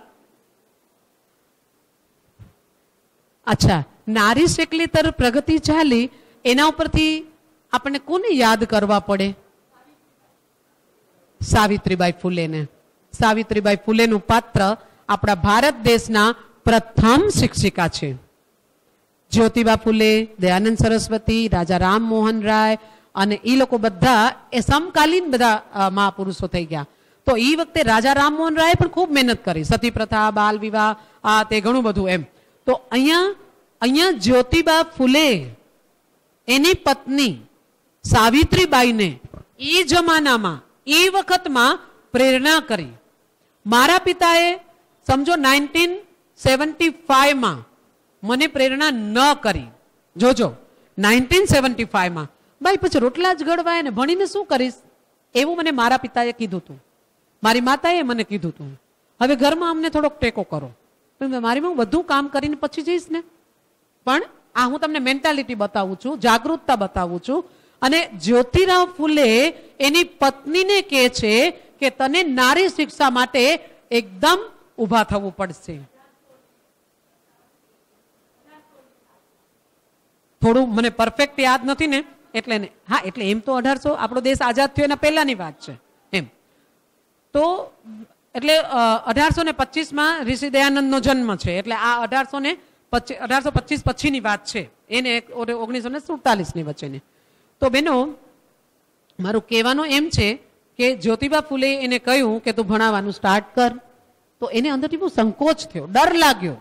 એકદમ ડર લાગ્યો અને પછી એના માટે પ્રચાર કર્યો અને સાત વિદ્યાર્થીની એના ગામમાંથી તૈયાર થઈ. અને એક ડેલાની અંદર એને ભણાવવાનું સ્ટાર્ટ કર્યું. જ્યારે એ ભણાવવા નીકળ્યા, ત્યારે લોકોએ એના ઉપર છાણ ફેંક્યા અને ખૂબ જ એને એને સતાવવાનું કામ કર્યું. પણ તેથી જો સાવિત્રીબાઈ ઊભા ન થયા હોત, કદાચ પછી થત તો ખરું, પણ વાર લાગી હોત. બરાબર છે? તો બેનો, અહીંયા મને એમ કહેવું છે કે મને વિચાર થયો અને અહીંયા હવે મૂળ વાત પર આવીએ, તો જે સાસરું મળ્યું એ પણ રિસીવરના વિચારોવાળું મળ્યું. અને ત્યાંથી વેદોની ખબર પડી. વેદોની જાણકારી થઈ. તમે નરેન્દ્ર મોદીજીની વાત જો ક્યાંક સાંભળ્યું ને ઇન્ટરવ્યુ ને આવા આવા મોટા સમુદાયની વચ્ચે, તો એને એન્કર પૂછે છે કે તમને ઇતિહાસ, આપકો ઇતિહાસ બનાને કી કિસ તરહ કી ઈચ્છા હૈ?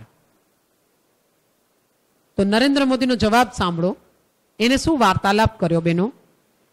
સૌથી પહેલા એને બધાને એમ પૂછ્યું ઉપસ્થિત લોકોને કે વેદો કી રચના કિસને કી તો જવાબ કોઈને ના આવડ્યો તો નરેન્દ્ર મોદીજીએ એમ કીધું कि अगर वेदों की रचना किसने की ये भी हमें पता नहीं है तो हम हम क्या है एक मूली के बराबर है शू कीधु एक मूली के बराबर है और हम क्या इतिहास बना सकते हैं हमें इतिहास नहीं बनाना है हमें नरेंद्र मोदी के नाम का इतिहास नहीं बनाना है हमें भारत का नाम बनाना है क्या करना है हमें ભારત કા નામ કરના હે તો ઈ જે ચાર વેદોની વાત કરી ત્યારે મને એમ થયું કે સાચી વાત છે આપણે ભારતમાં જન્મ લીધો છે આપણે આર્યાવર્તમાં જન્મ લીધો છે. આપણે આપણે સોનાની ચીડીઓવાળા દેશમાં જન્મ લીધો છે. પણ આપણને વેદોની જાણકારી નથી. કેટલા વેદ છે, દરેક વેદમાં શું સબ્જેક્ટ છે, દરેક વેદમાં કેટલા મંત્રો છે અને એ મંત્રો ઈશ્વરે કયા ઋષિઓને પ્રેરણા કરી અને એ લોકોએ ગ્રંથો લખ્યા. પહેલા તો ફક્ત સાંભળીને પછી એ લોકોએ બધાને કીધા અને એટલે શ્રુતિ ગ્રંથ કહેવાયા. પછી એમાંથી લખતા લખતા તામ્રપત્ર અને સ્વર્ણપત્ર એમાંથી કરતા કરતા પછી કાગળ ઉપર આવ્યા, કાગળ ઉપરથી કેસેટમાં આવ્યા, કેસેટમાંથી સીડીમાં આવ્યા અને સીડીમાંથી હવે પેન ડ્રાઈવમાં આવી ગયા વેદો. તો બેનો, નારી શિકલીતર પ્રગતિ જાલી એ વાતને હવે આપણે અત્યારે ઉજાગર કરવાની છે કે બેનો, આપણા ઘરમાં લાઇબ્રેરી વસાવો અને એમાં આપણા આર્ષ ગ્રંથો મૂકો. અગિયાર ઉપનિષદ મુખ્ય ઉપનિષદ છે. યાજ્ઞવલ્ક્યનું નામ સાંભળ્યું છે? સાંભળ્યું છે? એને ઉપનિષદ લખી એનું નામ ખબર છે? યાજ્ઞવલ્ક્ય કઈ ઉપનિષદ લખી?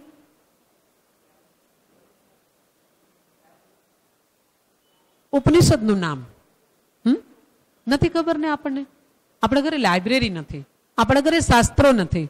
આપણે સ્વાધ્યાય કરતા નથી. આપણું અધ્યયન નથી. આપણને લખવાની ટેવ નથી. આપણને અમુક ટાઈપના શાસ્ત્રોને ભણવાની હજી કોઈએ પ્રેરણા આપી નથી. આપણા ઋષિમુનિઓના ગ્રંથો છે, એને આપણે ભણવા પડશે બેનો. મને હમણાં હસાવવું હોય ને, હું તમને ઉપરા ઉપરી ઘણા બધા જોક્સ કહીને હસાવી શકું. હાલો, તમને હસાવવું એટલે તમને મારો પરિચય થાય. કે બેન, ગંભીર જ વાતો નથી કરતા, એમ તો જોક્સ કહેતા આવડે છે. હે ને? હા? એક એક એક ભાઈ કે, એ કંઈક આમ આંગળીથી આમ આમ કરતા હશે. હમ? તો એ બસમાં પાછળ એક ભાઈ કે ભાઈ આપ, તમે આ શું કરી રહ્યા છો? આમ આમ આમ આમ આમ તો એ ભાઈએ કીધું, જે આમ આમ કરતા હતા એને કીધું, તમે કરો, મજા આવશે. ઓલા ભાઈ કે, અચ્છા. એટલે એને ચાલુ કર્યું. એ કે, ભાઈ, મજા કાંઈ આવતી નથી. તો કે, નાકમાં આંગળી નાખી હતી. પેલા નાકમાં આંગળી નાખો, પછી મજા આવશે. બરાબર?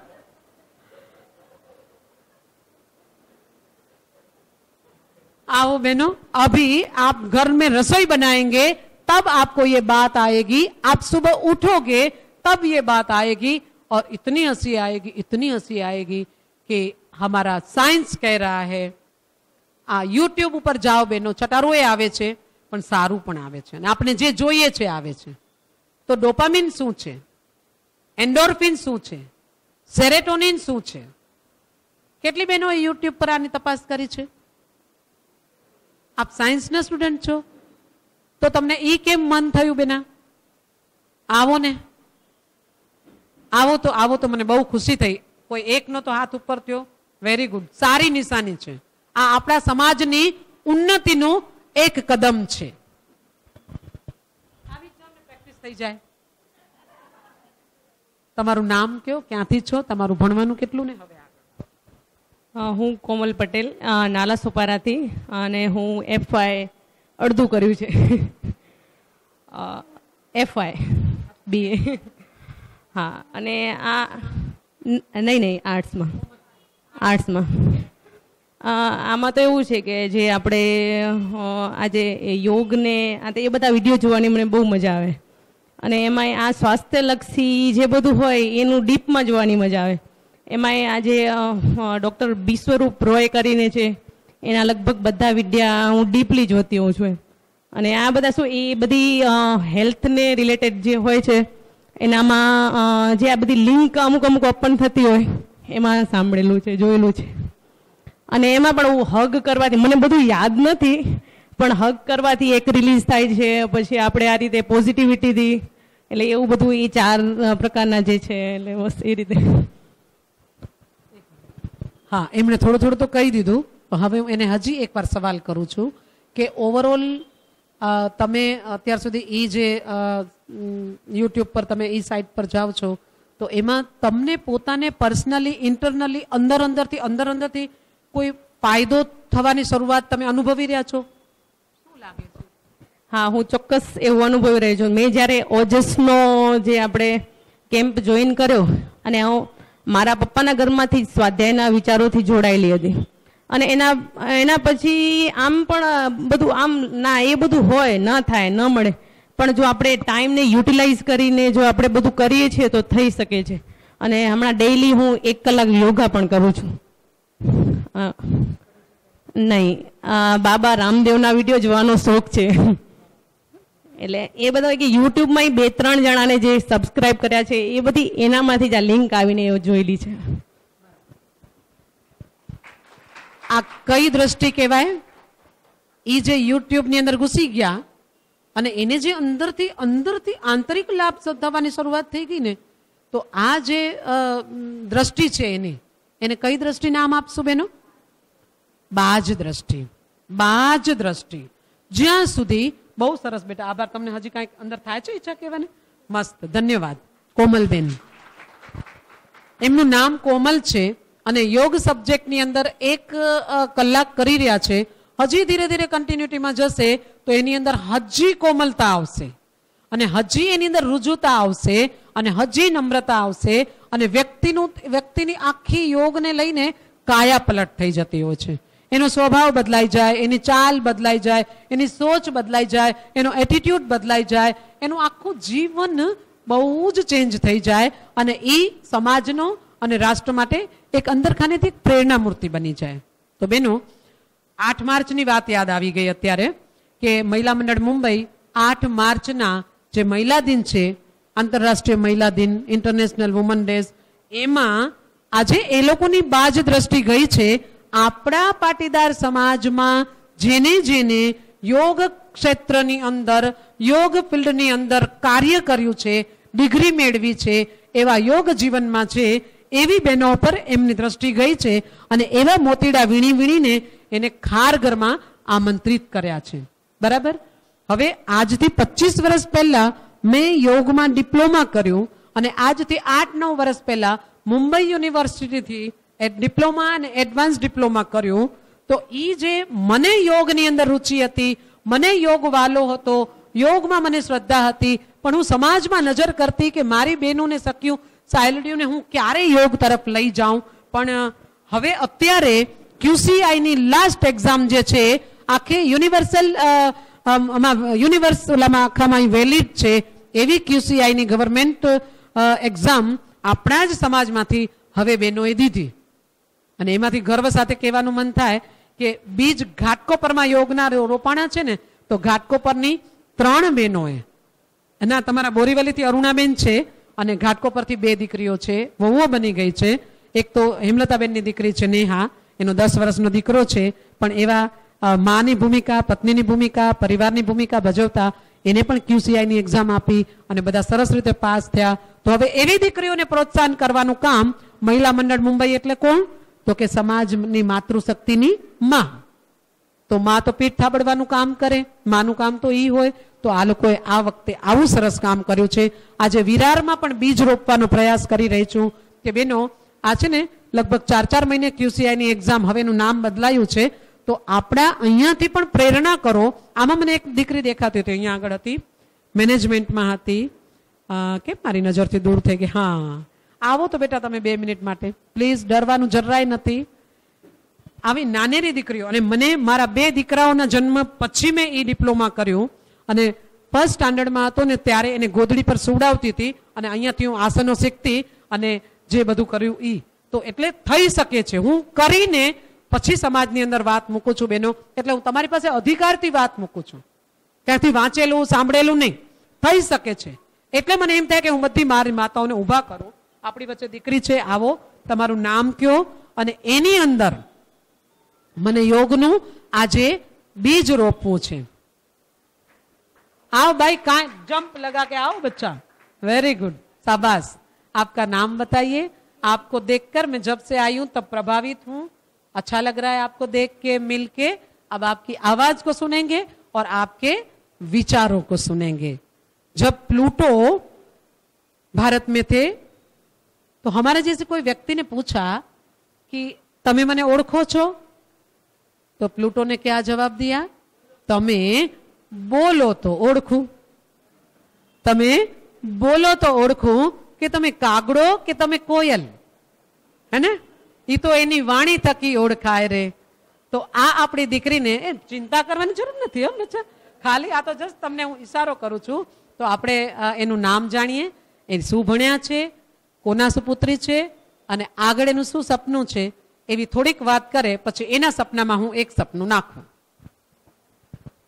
આપ સૌ આપ સૌને મારા તરફથી જય શ્રી કૃષ્ણ અને મારું નામ છે યોગીની મહેશભાઈ ચૌધરી.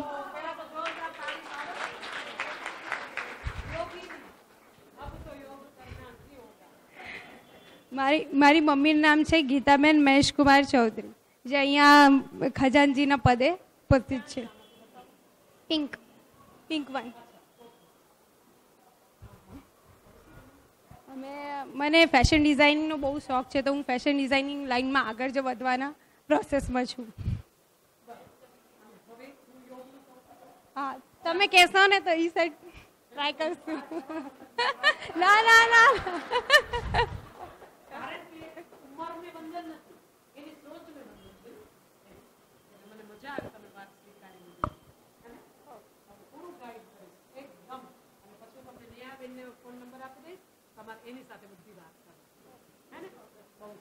કોઈ બે શબ્દ કેવા છે એક્સ્ટ્રા સરસ.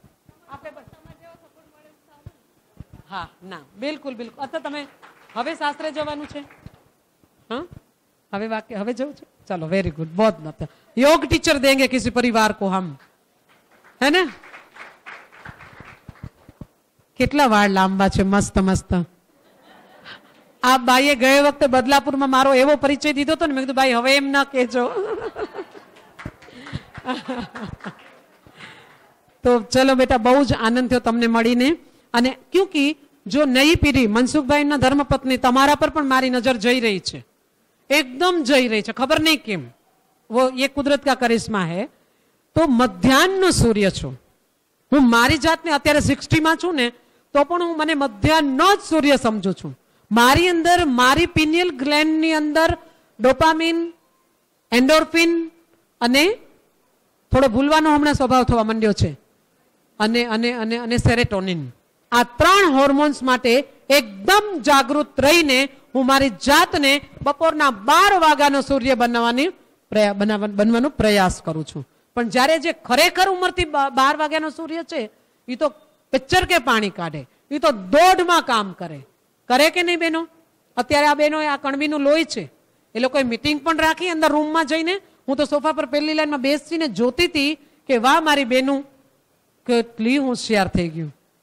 મસ્ત તૈયાર થઈને આવ્યું. બધાની અંદર ઉત્સાહ હતો, બધાની અંદર ઉમળકો હતો, બધાની વેશભૂષા અપ ટુ ડેટ થઈ ગઈ છે, બધાની ચાલ સરસ થઈ ગઈ છે. એકબીજાને હળવા મળવાની પદ્ધતિ જોઈ, એકબીજાને સ્વાગત સન્માન કરવાની પદ્ધતિ જોઈ. વેવાય વેલાને મળતા હોય એવી રીતે સરસ દિલથી, હૃદયથી ઝૂકીને, નમીને મસ્ત રીતે બધાને સ્વાગત કર્યા અંદર.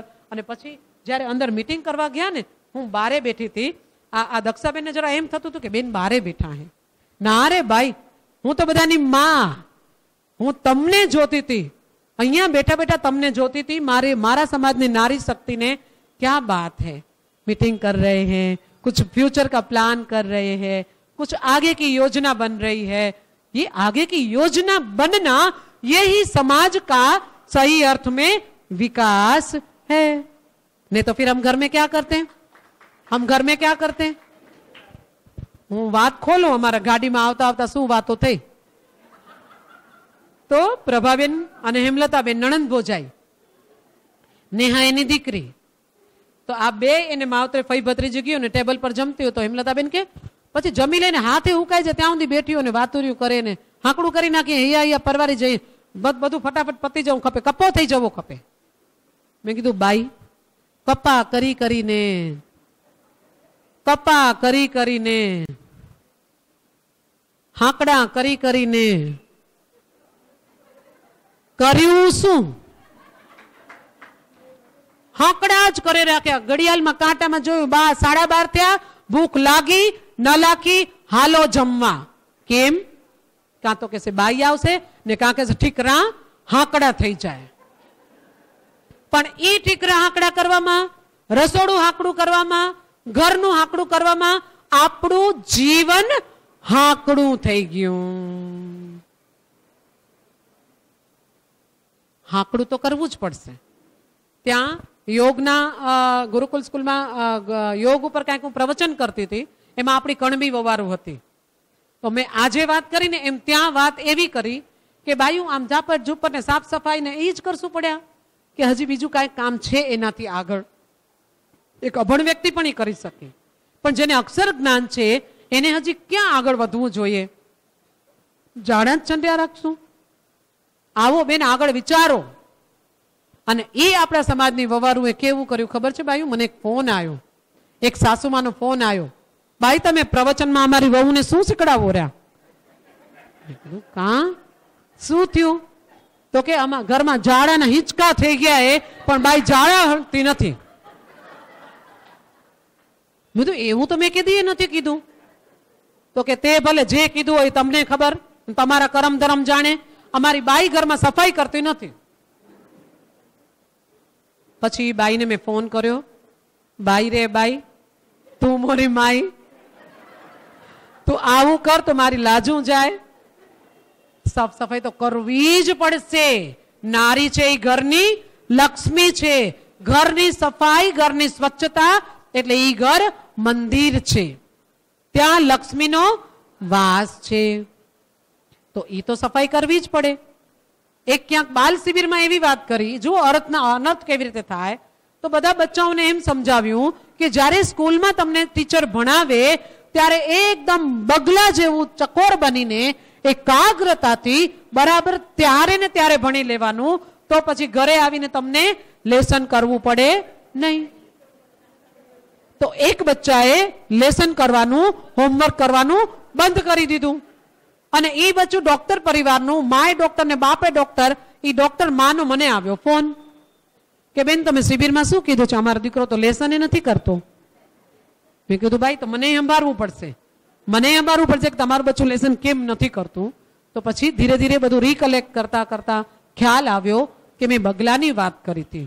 કાક ચેષ્ટા બગો ત્યાં બકો ધ્યાનમ ઈ આ બચ્ચાએ ગલત મિનિંગ પકડ્યો છે.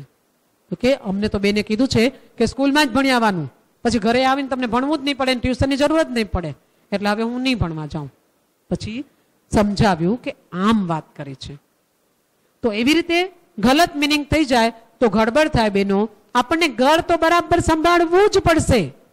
એકદમ અપ ટુ ડેટ ઘર રાખવું પડશે. કેને કે આમ છીક ના આવે એવું ચોખ્ખું ઘર. બાથરૂમના ખૂણે ખૂણા ચોખ્ખા કરવા પડશે. એક એક રૂમને અપ ટુ ડેટ ચોખ્ખો ચણક કરવો પડશે. ચાદરો છે એને એકદમ સાફ સુથરી રાખવી પડશે. કદાચ મહેમાન બનીને આપણે ઘરે આવ્યા તો આળસુ નહીં બનવું ચાલશે. તમને એને ચોખ્ખી ચાદર પાથરીને એના ઉપર સુવડાવવા પડશે. તમે મેલરિયાની ગેલરિયાની ચાદર આજ જ ધોવાનું પ્લાન હતું અને વિચાર કર્યો કે આજે મહેમાન આવે છે, તો આજે પતાવી દો એમાં જ. તો ઈશ્વર કે છે, વેદો કે છે કે એમ ચાલશે નહીં. તને કેવી ચાદર ઉપર મજા આવે? એવી ચાદર ઉપર તને મહેમાનને સુવડાવવા પડશે. તને કિચનમાં બધું જ સરસ રીતે અને આયુર્વેદના આધારે તને કિચનની પૂરી વ્યવસ્થા કરવી પડશે. એમાં રોટલીના અથાણું પતાવી દીધું. આજે પછી આથી પતાવી દીધું. આજે ખાલી ખીચડી એમ નહીં. ઘરમાં ઉંમરવાળા છે, ઘરમાં નાની ઉંમરના છે, ઘરમાં વચલી ઉંમરના છે, ઘરમાં હાર્ડ વર્કિંગ છે, તો એ બધાને અનુરૂપ તને જમવાનું નોલેજ હોવું જ જોશે. એટલે આ તો બધું ગૃહસ્થ આશ્રમની બધી જ બધી જ બધી જ વાતો. બેનો, એમાં જરાય મારી ના નથી એ પહેલા કરવું પડશે. એની સાથે સાથે શું કરવાનું છે તો એની સાથે સાથે આપણે લાઇબ્રેરી બનાવવી પડશે એમાં પુસ્તકો મૂકવા પડશે આપણે કોઈ પરીક્ષાઓ દેવી પડશે આપણને ભણવું પડશે અને એના માટે કરીને સવારના ચાર વાગે ઉઠવું પડશે ये हमसे नहीं होगा ये भारी डिफिकल्ट बात है चार बजे उठना अमृत बेला गया आलसी सो रहा बन अभागा સાથી સારે જાગે તું ના જાગા સાથી સારે જાગે એટલે સાથી એટલે કોણ? આપણા ઋષિમુનિઓ, આપણા મહાપુરુષો.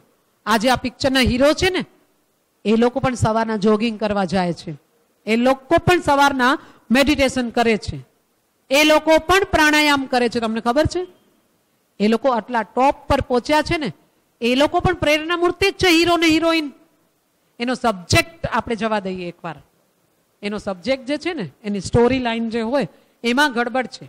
પછી ક્યાંક એના સંસ્કારોમાં ગડબડ છે. પછી ક્યાંક એને પૈસાની પાછળ એટલી બધી લોલુપતા છે, એટલો બધો સ્વાર્થ છે કે એ સંસ્કૃતિને ભૂલી જાય છે અને પરિણામે કાંઈ પણ કરવા તૈયાર થાય છે. પણ એની કેપેસિટી એની ક્વોલિટી એની અંદર જે ટેલેન્ટ છે, એની અંદર જે સ્કિલ્સ છે, એ તો અજબ ગજબના છે જ છે. છે ને બેનો? એ તો આપણને માનવું જ પડશે. પણ તમે એ લોકોના જીવનમાં પણ જાઓ. તમે એની બાયોગ્રાફી વાંચો, એનું જીવન વાંચો, તો એની અંદર પણ આપણને જાણવા મળે છે કે એ લોકો પણ બહુ જ સ્ટ્રગલ કરે છે. લતા મંગેશકર આજે કોકિલ કંઠી આપણી, આપણા ભારતનું એને નામ બારે કાઢ્યું, એકદમ જોરદાર. આજે બાણું વર્ષની ઉંમરે પણ કેટલું સરસ એનું, તો એને, એનો પણ તમે પુરુષાર્થ જુઓ. એની પણ સાધના જુઓ, એની પણ તપસ્યા જુઓ, એનું પણ ખાનપાન જુઓ, એની પણ દિનચર્યા જુઓ, આ બધા જ વહેલી સવારે ઉઠીને સાધના કરનારા લોકો છે. આ લોકો બધા સવારે વહેલા ઉઠે છે. આવો બેનો આજ આપણે બધા સંકલ્પ લેશું. ઘણી બધી વાતો રહી જઈ રહી છે, મને ઘણું બધું કહેવું છે, પણ મને આમ આમ બેઠાને ઊભા કરવા છે. હાલો બેનો તમે ભજન નથી ગાતા તમને ભજન નથી ગમતા, તો ભજન માટે તૈયારી કરો. તમે બાથરૂમમાં એકલા એકલા ગાઓ, ઘરમાં એકલા એકલા ગાઓ. તમે ભજન મંડળમાં જતા હો તે બધા આમ એક ગાય બીજું ઉપાડે ને ત્રીજું ઉપાડે ને ચોથું ઉપાડે અને આપણે ચૂપચાપ બેઠા હોઈએ, તો આપણો કોઈ ક્લાસ નથી. આપણી કોઈ કેટેગરી નથી. આપણામાં કાંઈ દમ નથી. આપણી અંદર કોઈ ટેલેન્ટ નથી. આપણો કોઈ મેમરી પાવર જ નથી. આપણી અંદર ડોપામિન બનતું નથી. આપણી અંદર સેરેટોનિન બનતું નથી. આપણી અંદર એન્ડોર્ફિન બનતું નથી. આપણે કેવા છીએ? ઢબ્બુના ઢ. છેલ્લી લાઈનમાં. અને ક્યાંય ગયા સભામાં તો કોઈ બોલાવે નહીં. કોઈ નમસ્તે ન કરે. આપણે એને નમસ્તે કરવું પડે. તો ચાણક્ય કી બાત કાન ખોલ કર સુન લો. क्या कहते હૈ चाणक्य जी अपनी चाणक्य नीति में अपनी लाइब्रेरी में चाणक्य नीति रखनी होगी विदूर नीति रखनी होगी ग्यारह उपनिषद रखनी होगी गीता रखनी होगी ऐसे चार वेदों को रखना होगा तब जाके हम कुछ पतंजलि नु पातंजल योग कपिल मुनि नु सांख्य योग वेदांत मीमांसा वैशेषिक न्याय ગૌતમ નો ન્યાય ન્યાય દર્શન ભણશો ને બેન હું ભણીશું ને એટલે કહું છું આમ સામેવાળી વ્યક્તિ વાત શરૂ કરશે ને, અને તરત જ ખબર પડશે કે આ ચીટર છે, આ સત્ય છે, આ વાત ઉથલાવે છે, આ આ ક્યાંક ગડબડ છલમાં છે, આ કપટ કરી રહ્યું છે, આ કઈ ટાઈપની ક્વોલિટી છે, કઈ ટાઈપની એની વાત થઈ રહી છે, આપણને ન્યાય દર્શનના સૂત્રો ભણશું ને બેનો તો આપણને બહુ બધી સમજ પડશે. યોગ દર્શન પતંજલિ ઋષિના યોગ દર્શનના એકસો ને પંચાણું સૂત્ર છે. એ સૂત્ર એ ચોપડી એ ગ્રંથ આપણા હાથમાં લેવો જ પડશે.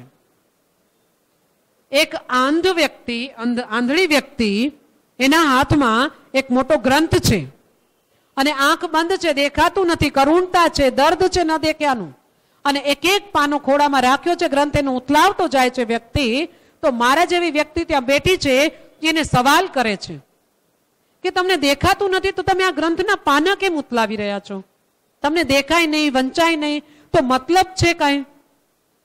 ત્યારે એનો જવાબ એ અંધ વ્યક્તિ આપે છે કે આ જન્મમાં મારા કોઈ કર્મોના કારણે ઈશ્વરે મને આંખ નથી આપી. પણ આવતા જન્મમાં હું આ ગ્રંથ વાંચી શકું, એના માટેના અત્યારે સંસ્કાર બનાવી રહ્યો છું. આમ થૂક ગળેથી ઉકરવી પડી રહી છે. હું આ નવા જન્મમાં મને ઈશ્વર આંખ આપે તો હું એના આ વાંચી શકું ને એની પ્રેક્ટિસ, એના સંસ્કાર, એની ઇમ્પ્રેશન બનાવી રહ્યો છું. તો બેનો, આપણે આપણી તો આંખ છે. આપણી તો આંખ છે. આવા દાદાજી રોજ ચોપડી વાંચે. આટલું નાનું પોતરું દોડતું દોડતું જઈને બેનો ઠેક દઈને દાદાજીના ખોળે બેસી ગયું. અને દાદાને આમ દાઢી પકડી પકડીને કે દાદા દાદા, તમે ચોપડી મૂકી દો ને. તમે ચોપડી નહીં વાંચો ને. તો દાદા કે બચ્ચા ચોપડી તો વાંચવાનું મને બહુ મજા આવે, વાંચું, મને ગમશે. એ તો નહીં મૂકું. પછી એકદમ કટાક્ષ કર્યો કે, તમને યાદ રહે છે એમાં કઈ વાંચો છો તો, દાદા? પેલું બચ્ચું કે દાદા કે યાદ નથી રહેતું, બાબુ. તો તો પછી એમ કરીને ચોપડો હાથમાંથી લઈને પગાવ્યો અને કે, હાલો, તમે મારી સાથે રમો. તમને યાદ તો રહેતું નથી, તો પછી વાંચવાનો શું મતલબ? દાદાએ જવાબ ના આપ્યો આગળ. બેનો, ચાર પાંચ દિવસ રહીને ડાઇનિંગ ટેબલ પર જમવા બેઠા દાદા પોતરા. પછી દાદાએ હળવેટથી પોતરાને પૂછ્યું કે, બચ્ચા, તારા માતાજીએ તારા મમ્મીએ પાંચ દિવસ પહેલા કઈ સબ્જી બનાવી હતી? તે કયું શાક ખાધું તું પાંચ દિવસ પહેલા? તો ઓલું બચ્ચું આમ કાલું ગયેલું તેને આમ યાદ કરતું હતું આમ ને આમ કરે ને પછી વળી આમ થાય ને પછી કે, દાદા, મને યાદ નથી આવતું હું. પાંચ પાંચ દિવસ પહેલા મેં કયું વેડનેસડેના કયું સબ્જી ખાધી હતી? નથી યાદ આવતું. કાંઈ વાંધો નહીં બેટા. નો પ્રોબ્લેમ દાદો પુત્ર, જમી લીધું, ત્યાં ઊભા. વળી ચાર પાંચ દિવસ રહી અને દાદાને, દાદાએ સવાલ કર્યો. અરે ઓ બચ્ચા તે ગયા સન્ડેને કયું ટી શર્ટ પહેર્યું તું? વળિયેલું બચ્ચું એકદમ કાલું ગેલું થઈને આવ્યું. એવું સરસ પ્રેમથી, એકદમ નિર્દોષતાથી યાદ કરતું હતું કે મેં પાંચ દિવસ પહેલા કયું ટી શર્ટ પહેર્યું હતું કયું ટી શર્ટ પહેર્યું હતું ખૂબ યાદ કર્યું, ખૂબ યાદ કર્યું. પછી યાદ ના આવ્યું. ના આવ્યું એટલે પછી દાદાજીને કે, દાદાજી, યાદ નથી આવતું. હવે દાદા ઊભા થયા, એની બાજુમાં જઈને બેઠા અને સરસ વાળ ઉપર હાથ ફરાવતા ફરાવતા, વાલ કરતા કરતા, એક ચૂમી ભરતા ભરતા દાદાજીએ બચ્ચાને કીધું કે, હે બચ્ચા, હે પ્રિય પૌત્ર, તે મને પંદર દિવસ પહેલા સવાલ કર્યો હતો કે, દાદા, તમને યાદ નથી રહેતું? તો તમે શું કામ વાંચો છો? એનો જવાબ તને હું આજે આપું. તે પાંચ દિવસ પહેલા કઈ સબ્જી ખાધી હતી તને યાદ ના આવ્યું ને બચ્ચું? પણ તે જ્યારે ડાઇનિંગ ટેબલ પર બેસીને જે શાક બન્યું હતું એ ખાધું, ત્યારે તારું પેટ ભરાયું અને એમાં જે વિટામિન્સ હતા, કે એમાં જે મિનરલ્સ હતા, કે જે એમાં પ્રોટીન્સ હતા એ તો તને મળ્યા મળ્યા મળ્યા. પૂછ્યું કે હા એ વાત સાચી દાદાજી. સાચી વાત છે. પછી તને ગયા સન્ડેને કયું ટી શર્ટ પહેર્યું તું? યાદ નહોતું ને? પણ એ દિવસે તે ટી શર્ટ પહેરીને એ સન્ડેના આખો દિવસ તારા શરીરની રક્ષા કરી હતી કે નહીં? તું મામાના ઘરે ગયો હતો કે નહીં ટી શર્ટ પહેરીને? તું નીચે રમવા ગયો હતો કે નહીં તારા દોસ્ત લોકો સાથે? તો એ ટી શર્ટે એ દિવસે તો તારા તારા બોડી માટે આખો દિવસ ડ્યુટી કરી કે નહીં? ફક્ત વાત એટલી છે કે તે કયું પહેર્યું તું ને એ તને યાદ નથી. પણ તે જે દિવસે સબ્જી ખાધી ને તે જે દિવસે જે ટી શર્ટ પહેર્યું, બંનેના ફાયદા તને એ જ દિવસે એ જ ટાઈમે મળી ગયા. દાદા પૂછે છે am I right dear English મીડિયમનું બચ્ચું હોય ને, એટલે દાદા લોકો આવું આવું બોલી લે. એમ આઈ રાઈટ ડિયર બચ્ચું કે યસ દાદા યુ આર રાઈટ તો તો, હું જ્યારે જ્યારે વાંચું, હું જે જે વાંચું, એ હું તને ન કહી શકું. તને કહેવા માટે મને યાદ ન રહે, પણ હું જ્યારે જ્યારે જે વાંચું, ત્યારે ત્યારે મને પણ એમાં રહેલા વિટામિન્સ એમાં રહેલા આયન એમાં રહેલી જે પણ સત્વ તત્વ છે એમાં રહેલો બોધ છે એમાં રહેલો મેસેજ છે એ મને મસ્ત મસ્ત મળી જાય છે ઈ દાદા પોતરાની તાળી પાડો ये बात है लाइब्रेरी और ग्रंथों को पढ़ने की बात जिक्र मैं इसलिए कर रही हूं कि ये सारे हमारे सच्चे दोस्त है સચ્ચે દોસ્ત હે. આપણી નિરાશાને દૂર કરશે. આપણી અંદર ઈર્ષા છે તો કોઈક શબ્દ એવો આવી જશે કે આપણામાંથી ઈર્ષા જતી રહેશે. આજે ડોપામીન ઉપર બધું બહુ કહેવું તું ટ્રાય કરીશ કહેવાય જાય તો. પણ બેનો, આટલું તો કામ કરવું જ પડશે. હવે આટલું લાઇબ્રેરીનું સાંભળ્યા પછી કેટલી બહેનોના મનમાં એમ બીજ ગયું છે અને થોડુંક અંદરથી ડેવલપ થઈ રહ્યું છે સ્પ્રાઉટ થઈ રહ્યું છે કે ના ના, સાચી વાત છે. હવે તો હું પુસ્તક મેળામાં જઈશ અને મારો એક ખાનું ખાલી કરીશ.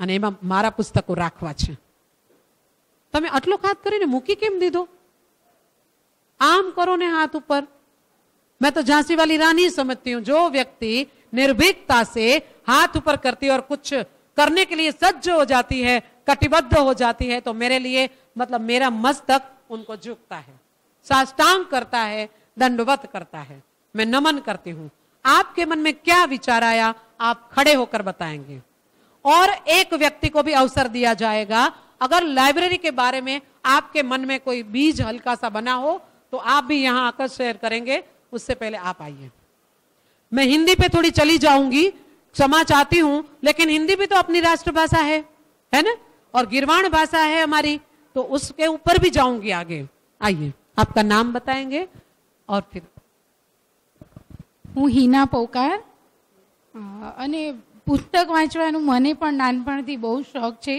અને અમારા ઘરે અમારા સસુર તો વાંચે જ છે અમે એમને જોઈને વધારે મન થાય. ક્યારેક ક્યારેક એમની બુક પડી હોય તો વાંચી લઈએ. બે ચાર પાના વાંચી લઈએ. આ ટ્રસ્ટી સાહેબ છે. એટલે હમણાં તો હવે મોબાઈલમાં બહુ પડ્યા છે એટલે બુક ઓછા વંચાય છે. પણ ક્યારેક ક્યારેક તો હા હા. એ જ થાય છે. મોબાઈલમાં પણ એવું જ જોઈએ કે જે બુકમાં મળતું હોય ને એવું જ. અને મને એમ લાગે છે કે મારા વાંચનથી મારી દીકરીમાં પણ એ ગુણ આવ્યા છે. એ હમણાં સેવન્થમાં ભણે છે, પણ એને પણ બુકનો એટલો જ શોખ છે. અમે જ્યાં પણ જઈએ ને બારે તો એ કે, મમ્મી, હું આ બુક લઉં. એ ઇંગ્લિશ મીડિયમમાં છે. અને મારું ગુજરાતી મીડિયમ. એમ અમારું થોડું બેસતું નથી, પણ એ કરે. અને એને મહાભારત ને રામાયણ ને એવા બધા બુક પણ એ કરે, કોશિશ કરે વાંચવાની. હજી સમજ એની એટલી નથી, પણ એને મન થાય છે. એને હમણાં ટ્વેલ્વ યર્સ છે. પણ અમારા પપ્પાને પણ શોખ છે, મને પણ થોડું થોડું ગમે. અમારા સાસુ પણ વાંચે, એટલે થોડું થોડું આવે છે. અને બુક લાઇબ્રેરી બનાવવાનો મને નાનપણથી જ શોખ છે. હા એટલે મારું ખાનું છે બુક મેં નથી લીધા, પણ ક્યાંકથી મળ્યા છે ને એ મેં સાચવ્યા છે. એ છે. આમ તો અમારે વિદુર નીતિ પણ છે મારા પાસે. પછી સાત પગલા આકાશમાં એક નવલકથા છે ને, એ મને બહુ જ ગમતી. નાની હતી ત્યારથી હા, કુંદનિકા કાપડિયાની છે બુક. હમ. મને મજા આવી. પછી હું પીએચડી ન કરી શકી ને, એમાં ગ્રેજ્યુએશન જોઈતું હતું ને મારું ડિપ્લોમા હતું. મુંબઈ યુનિવર્સિટીમાં બહુ પાગલની જેમ મેં ઇન્ક્વાયરી કરી. કે શું કરું તો હું પીએચડી કરી શકું? ધન્યવાદ આપનો. બહુ સરસ તમે શેર કર્યું. તો પછી એમ થયું કે ચલો, હું હું પીએચડી ન બની શકું તો કાંઈ વાંધો નહીં. મારા આખા ભારતભરની અંદર પાટીદાર સમાજમાંથી જો કોઈ પીએચડી નારી હોય તો હું એને નમન કરું. મને પાંખો આવે. મારી એક બંગડી વેચીને એના ભેગી એને એને- સુધી પહોંચી જાઉં. એને એને નમન કરી આવું. પછી બેનો, થોડાક જ દિવસમાં આપણે ક્યાં ગયા હતા હેમલતાબેન? પાર્વતીબેન ક્યાં આગળ? હા, શીખ હૈદરાબાદ. હા હૈદરાબાદમાંથી એક નારી મળ્યા અને એને વલ્લભાચાર્ય અને વલ્લભનો જે પંથ છે ને એમાં એને પીએચડી પછી સબ્જેક્ટ જે કોઈ હોય પણ પીએચડી કરવાનું સુધીનું કરીને એ ત્યાં આગળ કોલેજની અંદર પ્રોફેસર છે. એ જ્યારે હૈદરાબાદ અમે લોકો કેમ્પ કરવા ગયા અને ત્યાં મને એ મળ્યા તો એને બહુ ગલે લાગીને દિલથી મળી હતી અને મને મારું રોમ રોમ એમ કહેતું હતું કે ચલો, આપણા સમાજમાં એક પ્રતિનિધિત્વ કરવા વાળું નારી પાત્ર છે. હવે મધ્યાહન સૂર્યમાં અંદર નાખવાનો મારો પ્રયાસ છે, પણ દીકરીઓની શિબિર મહિલા મંડળ, દીકરીઓની શિબિરમાં સ્થગિતતા આવી ગઈ છે. જો દીકરીઓ મને મળે ને એકદમ, તો એ લોકોની અંદર આ બીજ બધા નાખવા પડશે. આ બધું, આ બધી રોપણી આપણે કિસાન છીએ, આપણે ખેડૂત છીએ, આપણું કામ વાવવાનું હોય. અને એ જો આ બીજ વવાઈ જાય, કચ્છની ભૂમિ પર વાવવા વાળા આપણા કિસાનો છે. પણ આ બીજ વવાશે ને તો આગળ એના ઘણા બધા ફાયદા છે. તો લાઇબ્રેરી માટે બેને વાત કરી. પછી હવે કોણ હજી આવવા એક જણ ઈચ્છો છો? આવો. બહુ સરસ.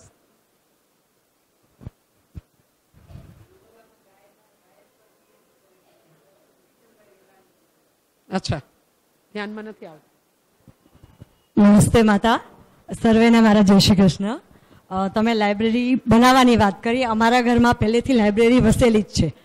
અમારા પોતાના બેડરૂમમાં એક મોટું ખાનું છે એમાં અગણિત ભણવાને લગતી, આધ્યાત્મિકને લગતી અને આરોગ્યને લગતી ઘણી બધી પુસ્તકો હોય છે.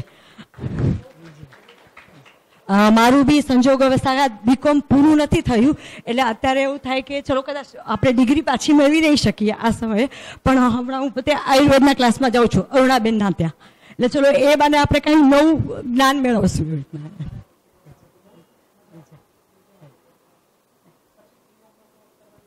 યોગનો કોર્સ તો એટલે આરોગ્યની સાથે યોગ ચાલુ જ છે. અને અત્યારે આપણા સમાજના યોગ જે પ્રસ્તુત કરવાનું છે બોરીવલી તરફથી, એમાં બી મેં ભાગ લીધેલો જ છે. અને હું યોગમાં બી જાઉં છું અને ઘરે બી જેટલો ટાઈમ મળે છે એ હિસાબે કરું છું. હિસાબે.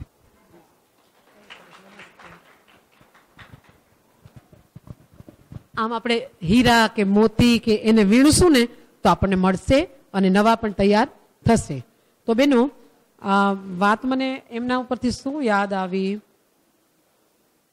ને શું કંઈક સરસ યાદ આવતું હતું, કંઈક કેવું હતું એના અનુસંધાનમાં જ? ચલો, યાદ આવશે ત્યારે કહું છું.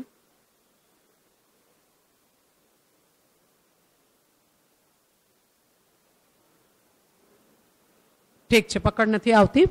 તો આપણે આગળ વધી રહ્યા છીએ અને લાઇબ્રેરી માટે બધા પ્રયાસ કરજો. બાકી તો જીતના પુરુષાર્થ, ઉતના ફલ. हम जितना प्रयास करेंगे उतना विकास हो सकता है તો આવો આપણે જ્યાં પહોંચ્યા ઉંમરમાં ત્યાંથી આપણે આપણો પોતાનો સ્વનો વિકાસ કરવા માટે તો જાગવાનું જ છે પણ સમય સરકતો જાય છે એટલે હવે હું બચ્ચા ઉપર આવું છું જરા કે આમાંથી જે દીકરીઓ હવે શાસ્ત્રે જવાની છે એ લોકોને એટલે આપણા શાસ્ત્રો એમ કે છે કે અ, ગૃહસ્થ આશ્રમની અંદર વિવાહ સંસ્કારના માધ્યમથી પ્રવેશ કરીએ એના પહેલા ચાર વેદોને ભણી લેવા જોઈએ ગુરુના આશ્રમમાં જઈને જેમ કૃષ્ણ ને રામ ને બધા પેલા બધી ઋષિકાઓ પણ જતી હતી ગુરુના આશ્રમમાં. અને બ્રહ્મચર્ય આશ્રમની અંદર પચીસ વર્ષ સુધી, આઠ વર્ષનું થાય, બાર વર્ષનું થાય, એટલે ગુરુના આશ્રમમાં જાય અને પચીસ વર્ષનું થાય, ત્યાં સુધી ગુરુના અંડરમાં રહીને, આચાર્યના અંડરમાં રહીને બધું જ ગૃહસ્થ જીવનનું એ ભણીને આવે. એમાં ચાર વેદ ભણાઈ ગયા હોય, એમાં ઉપનિષદ ભણાઈ ગઈ હોય, એમાં આર્ટ્સ ગ્રંથો, શ્રુતિ ગ્રંથો ભણાઈ ગયા હોય. અને ગુરુ એને ચેક કરે કે એની અંદર પરિપક્વતા આવી છે એટલે એના પરિવારોમાં સંદેશો જાય અને પરિવાર એને લેવા આવે અને પછી સમાવર્તન સંસ્કાર થાય અને એને ઘરે લઈ જાય. કે ભાઈ, આ વિવાહ સંસ્કાર તરફ જવા માટે યોગ્ય છે. સંતાનનું નિર્માણ કરવા માટે યોગ્ય છે. એનો શારીરિક, માનસિક વિકાસ બરાબર થઈ ગયો છે. એનો આધ્યાત્મિક વિકાસ પણ બરાબર થઈ ગયો છે. એવી લીલી ઝંડી એના ગુરુ આપે અને એ સંતાન ઘરે જાય. એટલે પછી એ વિવાહ સંસ્કારમાં જોડાય. તો આજે હું અને તમે આપણે બધા એક પણ વેદને ભણ્યા વગર કે ગુરુકુળમાં આચાર્ય આચાર્ય પાસે ગયા વગર ગૃહસ્થ જીવનનું, વિવાહ સંસ્કારનું કાંઈ પણ નોલેજ લીધા વગર આપણે લોકો સાસરે ગયા. બરાબર? તો આપણને સોળ સંસ્કારની ખબર નહોતી કે ભાઈ પ્રેગ્નન્સીથી પહેલાં આખું પેપર પ્લાન બને, કેવું બાળક નિર્માણ કરવું છે એના કેવા વિચારો હોવા જોઈએ, એ કેવું લુકમાં હોવું જોઈએ એ તમે કેવા પ્રકારનું બાળક બનાવવા ઈચ્છો છો? તો આર્કિટેક્ટ જેમ પેપર પ્લાન બનાવે, એવી જ રીતે અહીંયા પણ આપણને ઋષિઓએ કીધું. આજે સાયન્સ પણ કહે છે કે એક પ્લાન બનાવો અને પછી એવા બાળકની કલ્પના કરો. એવા બાળકના ગુણો નિર્માણ કરવા માટે તમે પોતે એવા પુસ્તકોનું વાંચન કરો. તમે પોતે માતા પિતા એવા વ્યક્તિની મુલાકાત લો. એવા એવા સર્કલને તમારું ગ્રુપ બનાવો. અને એમ તમે તમારી જાતને પરફેક્ટ બનાવો. પછી એ તો બાહ્ય જ્ઞાન લીધું ને પછી પરફેક્ટ બન્યા. પણ સ્ત્રી બીજ અને શુક્રાણુ, ઓવમ અને સ્પમ. પુરુષનું જે બીજ છે, એને શુક્રાણુ કહેવાય. અને સ્ત્રીનું છે, એને સ્ત્રી બીજ કહેવાય. સ્પમ અને ઓવમ. આ બે સીડ ઉપર બાળકનો ખૂબ આધાર છે. તો માતા બનવાની છે ઈ પણ અને પિતા બનવાના છે ઈ બંને પોતાના પ્રેગ્નન્સીથી પહેલા પોતાના વિચારોને ચેન્જ કરવાના છે. એનું અત્યાર સુધીનું ખાનપાન જેવું હતું, એમાં ઘણા બધા ફેરફાર કરવાના છે. બર્ગર, પીઝા અને બેકરી પ્રોડક્ટ અને ખૂબ છટારા છટારા ભોજન એના અત્યારે લાઇકિંગમાં છે. એમાંથી સ્ત્રી બીજ અને એમાંથી શુક્રાણુ સ્પમ બનવાના છે તો ઈ સરસ બનશે નહીં. તો પછી સ્પ્રાઉટેડ લેવું પડશે, ડાર્ક કલરના વેજીટેબલ્સ અને ફ્રૂટ્સ લેવા પડશે, એને તડકો લેવો પડશે, વિટામિન ડી હશે તો પ્રોટીન બરાબર અંદરથી મળશે. એના બોડીના સેલ છે એ સેલ બરાબર પ્રોટીનથી ભરપૂર હશે. તો થશે એના બ્રેનની અંદર ન્યુરોન્સ છે એ ન્યુરોન્સ એકદમ મજબૂત હશે તો એ બચ્ચું બુદ્ધિમાન થશે એની પિટ્યુટરી એનું પિન્યલ એનું ગ્રે મેટર સેરેબેલમ સેરેબ્રમ આ બધા ઓર્ગન્સ પરફેક્ટ હશે આ આ હાર્ડવેર બરાબર હશે તો એની અંદર સોફ્ટવેર બરાબર હશે તો એની તૈયારી તો બહુ જ પહેલાથી કરવી પડશે અને એ તૈયારી માટે તમને આ બાઈને બોલાવવી પડે, અથવા તમને બીજા કોઈને બોલાવવા પડે, જે આ સબ્જેક્ટ ના હોય. અને એમાં સામે પતિ પત્નીને તમારે આ રીતે જેમ બેઠા છો, એમ પતિ પત્નીને બેસાડવા પડે. અને એને એ નોલેજ આચાર્ય અને ગુરુના આશ્રમમાં જેને ન મળ્યું, તો એને હવે આપવું પડે. સાસરીએ જતા પહેલા, લગ્ન ગ્રંથિથી જોડાયા પહેલા, એને આ શાસ્ત્રનું અધ્યયન નથી કર્યું, તો હજી એ મોડું નથી. હજી એ મોડું નથી. અચ્છા, ચલો, આ બધું નોલેજ મળી ગયું. ગુસ્સાવાળો સ્વભાવ છે અદેખો સ્વભાવ છે. કોઈને એક સેકન્ડમાં પ્રશંસા થઈ શકતી નથી. એવો સ્વભાવ છે. ખબર પડે છે કે આ બાઈની સાડી બહુ મસ્ત છે. પણ એના મોઢામાંથી સાડી મસ્ત છે એમ કહેવાનું ફાવતું નથી. કોઈએ સરસ ગીત ગાયું તો તમે બહુ સારા સિંગર છો એમ કહેવાનું ફાવતું નથી. કોઈના ઘરે આપણે ભોજન માટે ગયા અને એને બધું જ જમવાનું મસ્ત મસ્ત બનાવ્યું છે. એકદમ યમ્મી યમ્મી તમારી લેંગ્વેજમાં. તો પણ એનાથી એમ ખાતા ખાતા કહેવાતું નથી કે વારે વાહ બાઈ તારા હાથમાં તો જાદુ છે. મસ્ત આઈટમ. તારું સલાડ તો લાજવાબ. તારી પાઉંભાજી તો કમાલ, હાથમાં સુગંધ રહી જશે. ભાઈ, કાલ તારી ભાજી યાદ આવશે. અરે, પ્રભુએ આપણને જીભ આપી. તો શું કરવા આપી? કોઈને પ્રોત્સાહિત કરીએ. ભાજી સરસ નથી બની, તો ખુશામત નથી કરવાની. તો તમારી ભાજી બહુ જ સરસ છે એમ નથી કહેવાની. તો મૌન પાડવાનું છે. તો કાંઈ નહીં કહેવાનું. તો કાંઈ નહીં કહેવાનું. પાપ પડે. જો ભાજી સરસ નથી બની કોઈ દમ જ નથી અંદર. એના કરતા સાદી સબ્જી પણ સરસ બને. એવી ભાજી બનાવી હોય ને તમે આજનું પ્રવચન સાંભળીને કાલે એના ટેબલ પર કહો કે ભાઈ, તારી ભાજી તો વારે વાહ. તો તમને કર્મફળ લાગશે. તમે અસત્ય આચરણ કર્યું. તમે બોલ્યા તો સત્ય, પણ અસત્ય બોલ્યા બોલ્યા તો પ્રિય. તો એ પણ નહીં ચાલે. પણ જે વસ્તુ જેવી છે ને એવી જો આપણે કહેતા ફાવી જાય તો આ પણ જીવનના વિકાસનો એક બહુ જ મોટો પ્રારંભ છે બેનો. એટલે એક એક સારા એડમાયરર બનવું પડે. એક સારા પ્રશંસક બનવું પડે. કેમ લાગે છે બેનો? એક ઝટકે મેં મેં બહુ લોકોને માર્ક કર્યું, પરીક્ષણ નિરીક્ષણ કર્યું. કઈ જ નથી શકતા, કઈ જ નથી શકતા. એટલા બધા સોય દોરા મજબૂત ગોદડાના દોરા લઈને અને પ્લાસ્ટિકના દોરા લઈને એવી જીભ સીવી નાખી હોય, એવી જીભ સીવી નાખી હોય કે બોલાય જ નહીં, બોલાય જ નહીં. ભાઈ, આજ તમારી કોઈની જીભ એવી હોય તો હવે ટાંકા ધીરે ધીરે ખોલવા માંડીએ. સાચે જ. પછી તમે જુઓ, તમને શું મજા આવે છે. બહુ જ મજા આવશે. કોઈને, કોઈએ સારું કામ કર્યું છે, પીઠ થાબડો. કોઈએ કાંઈ પણ સરસ કર્યું છે, પીઠ થાબડો. કોઈ નિરાશ થઈને બેઠું છે, તો એની અંદર ઉત્સાહ ભરવાનું કામ કરી દઈએ. અને આ પુસ્તકો છે, એને વાંચવાના ક્રમ બનાવી દઈએ. હવે વાત પાછા આપણે આવી જઈએ, સોરી. આ બચાવ ઉપર હતા આપણે, કે હવે એ જે ઓવમ અને શુક્રાણુ આ બે બીજનું મહત્વ બતાવવા માટે હું એક એક્ઝામ્પલ આપું, મારું. અમે કાકા બાપાના બધા થઈને કઝિન્સ કચ્છમાં જતા. અમારા દાદા દાદી વરસાદના પાણીથી સિંગનો પાક કરી રાખે તૈયાર. અને છ ગુણ પેલા મોટી સાઈઝની સો કિલાની આવતી. તો બેનો સિંગનો પાક તૈયાર હોય અને પછી અમે નવે ભાઈ બેન રાઉન્ડમાં બેસીએ અને પછી સિંગ દાણા પોલીએ. અમારા માટે રાખે કે હવે છોરા આવશે ને તે પોલશે, બરાબર?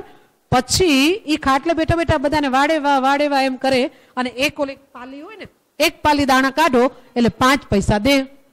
બરાબર? એ પાંચ પૈસાની મજા હતી. દાણામાં કોઈ જ ઇન્ટરેસ્ટ નહોતો.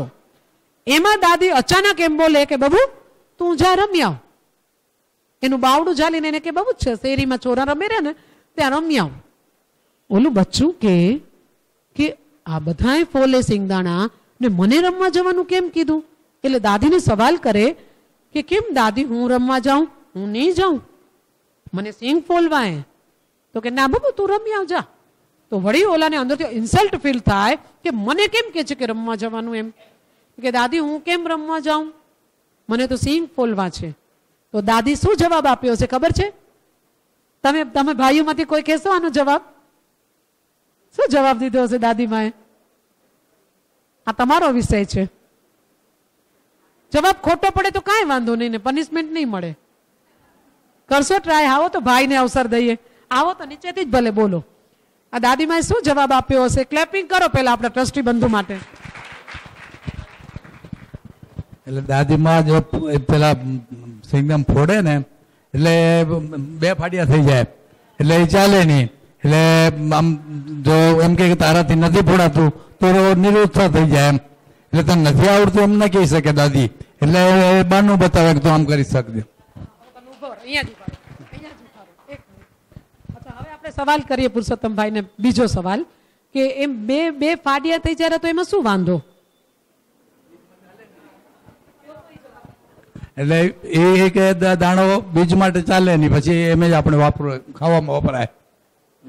બીજ એ દાણો બીજ માટે ન ચાલે ને. બીજમાં એ પડાસિયા વાળું દાણું કેમ ન ચાલે? એ તો કુદરતી નિયમ છે. જે દાણો જો અખંડ હોય તો જ એમાંથી અંકુર ફૂટે. એક વખત જો બે ફાડિયા થઈ જાય કોઈ બી દ્વિદળ દ્વિદળ જે હોય, મગ, ઘઉં, એ બધા દ્વિદળ કહેવાય. એ જે બે આમ જે ફાડિયા થતા હોય, દાળ હોય, તો એ જો છૂટા પડી જાય, તો એમાંથી બીજ અંકુરિત ન થાય. સવાલ સોરી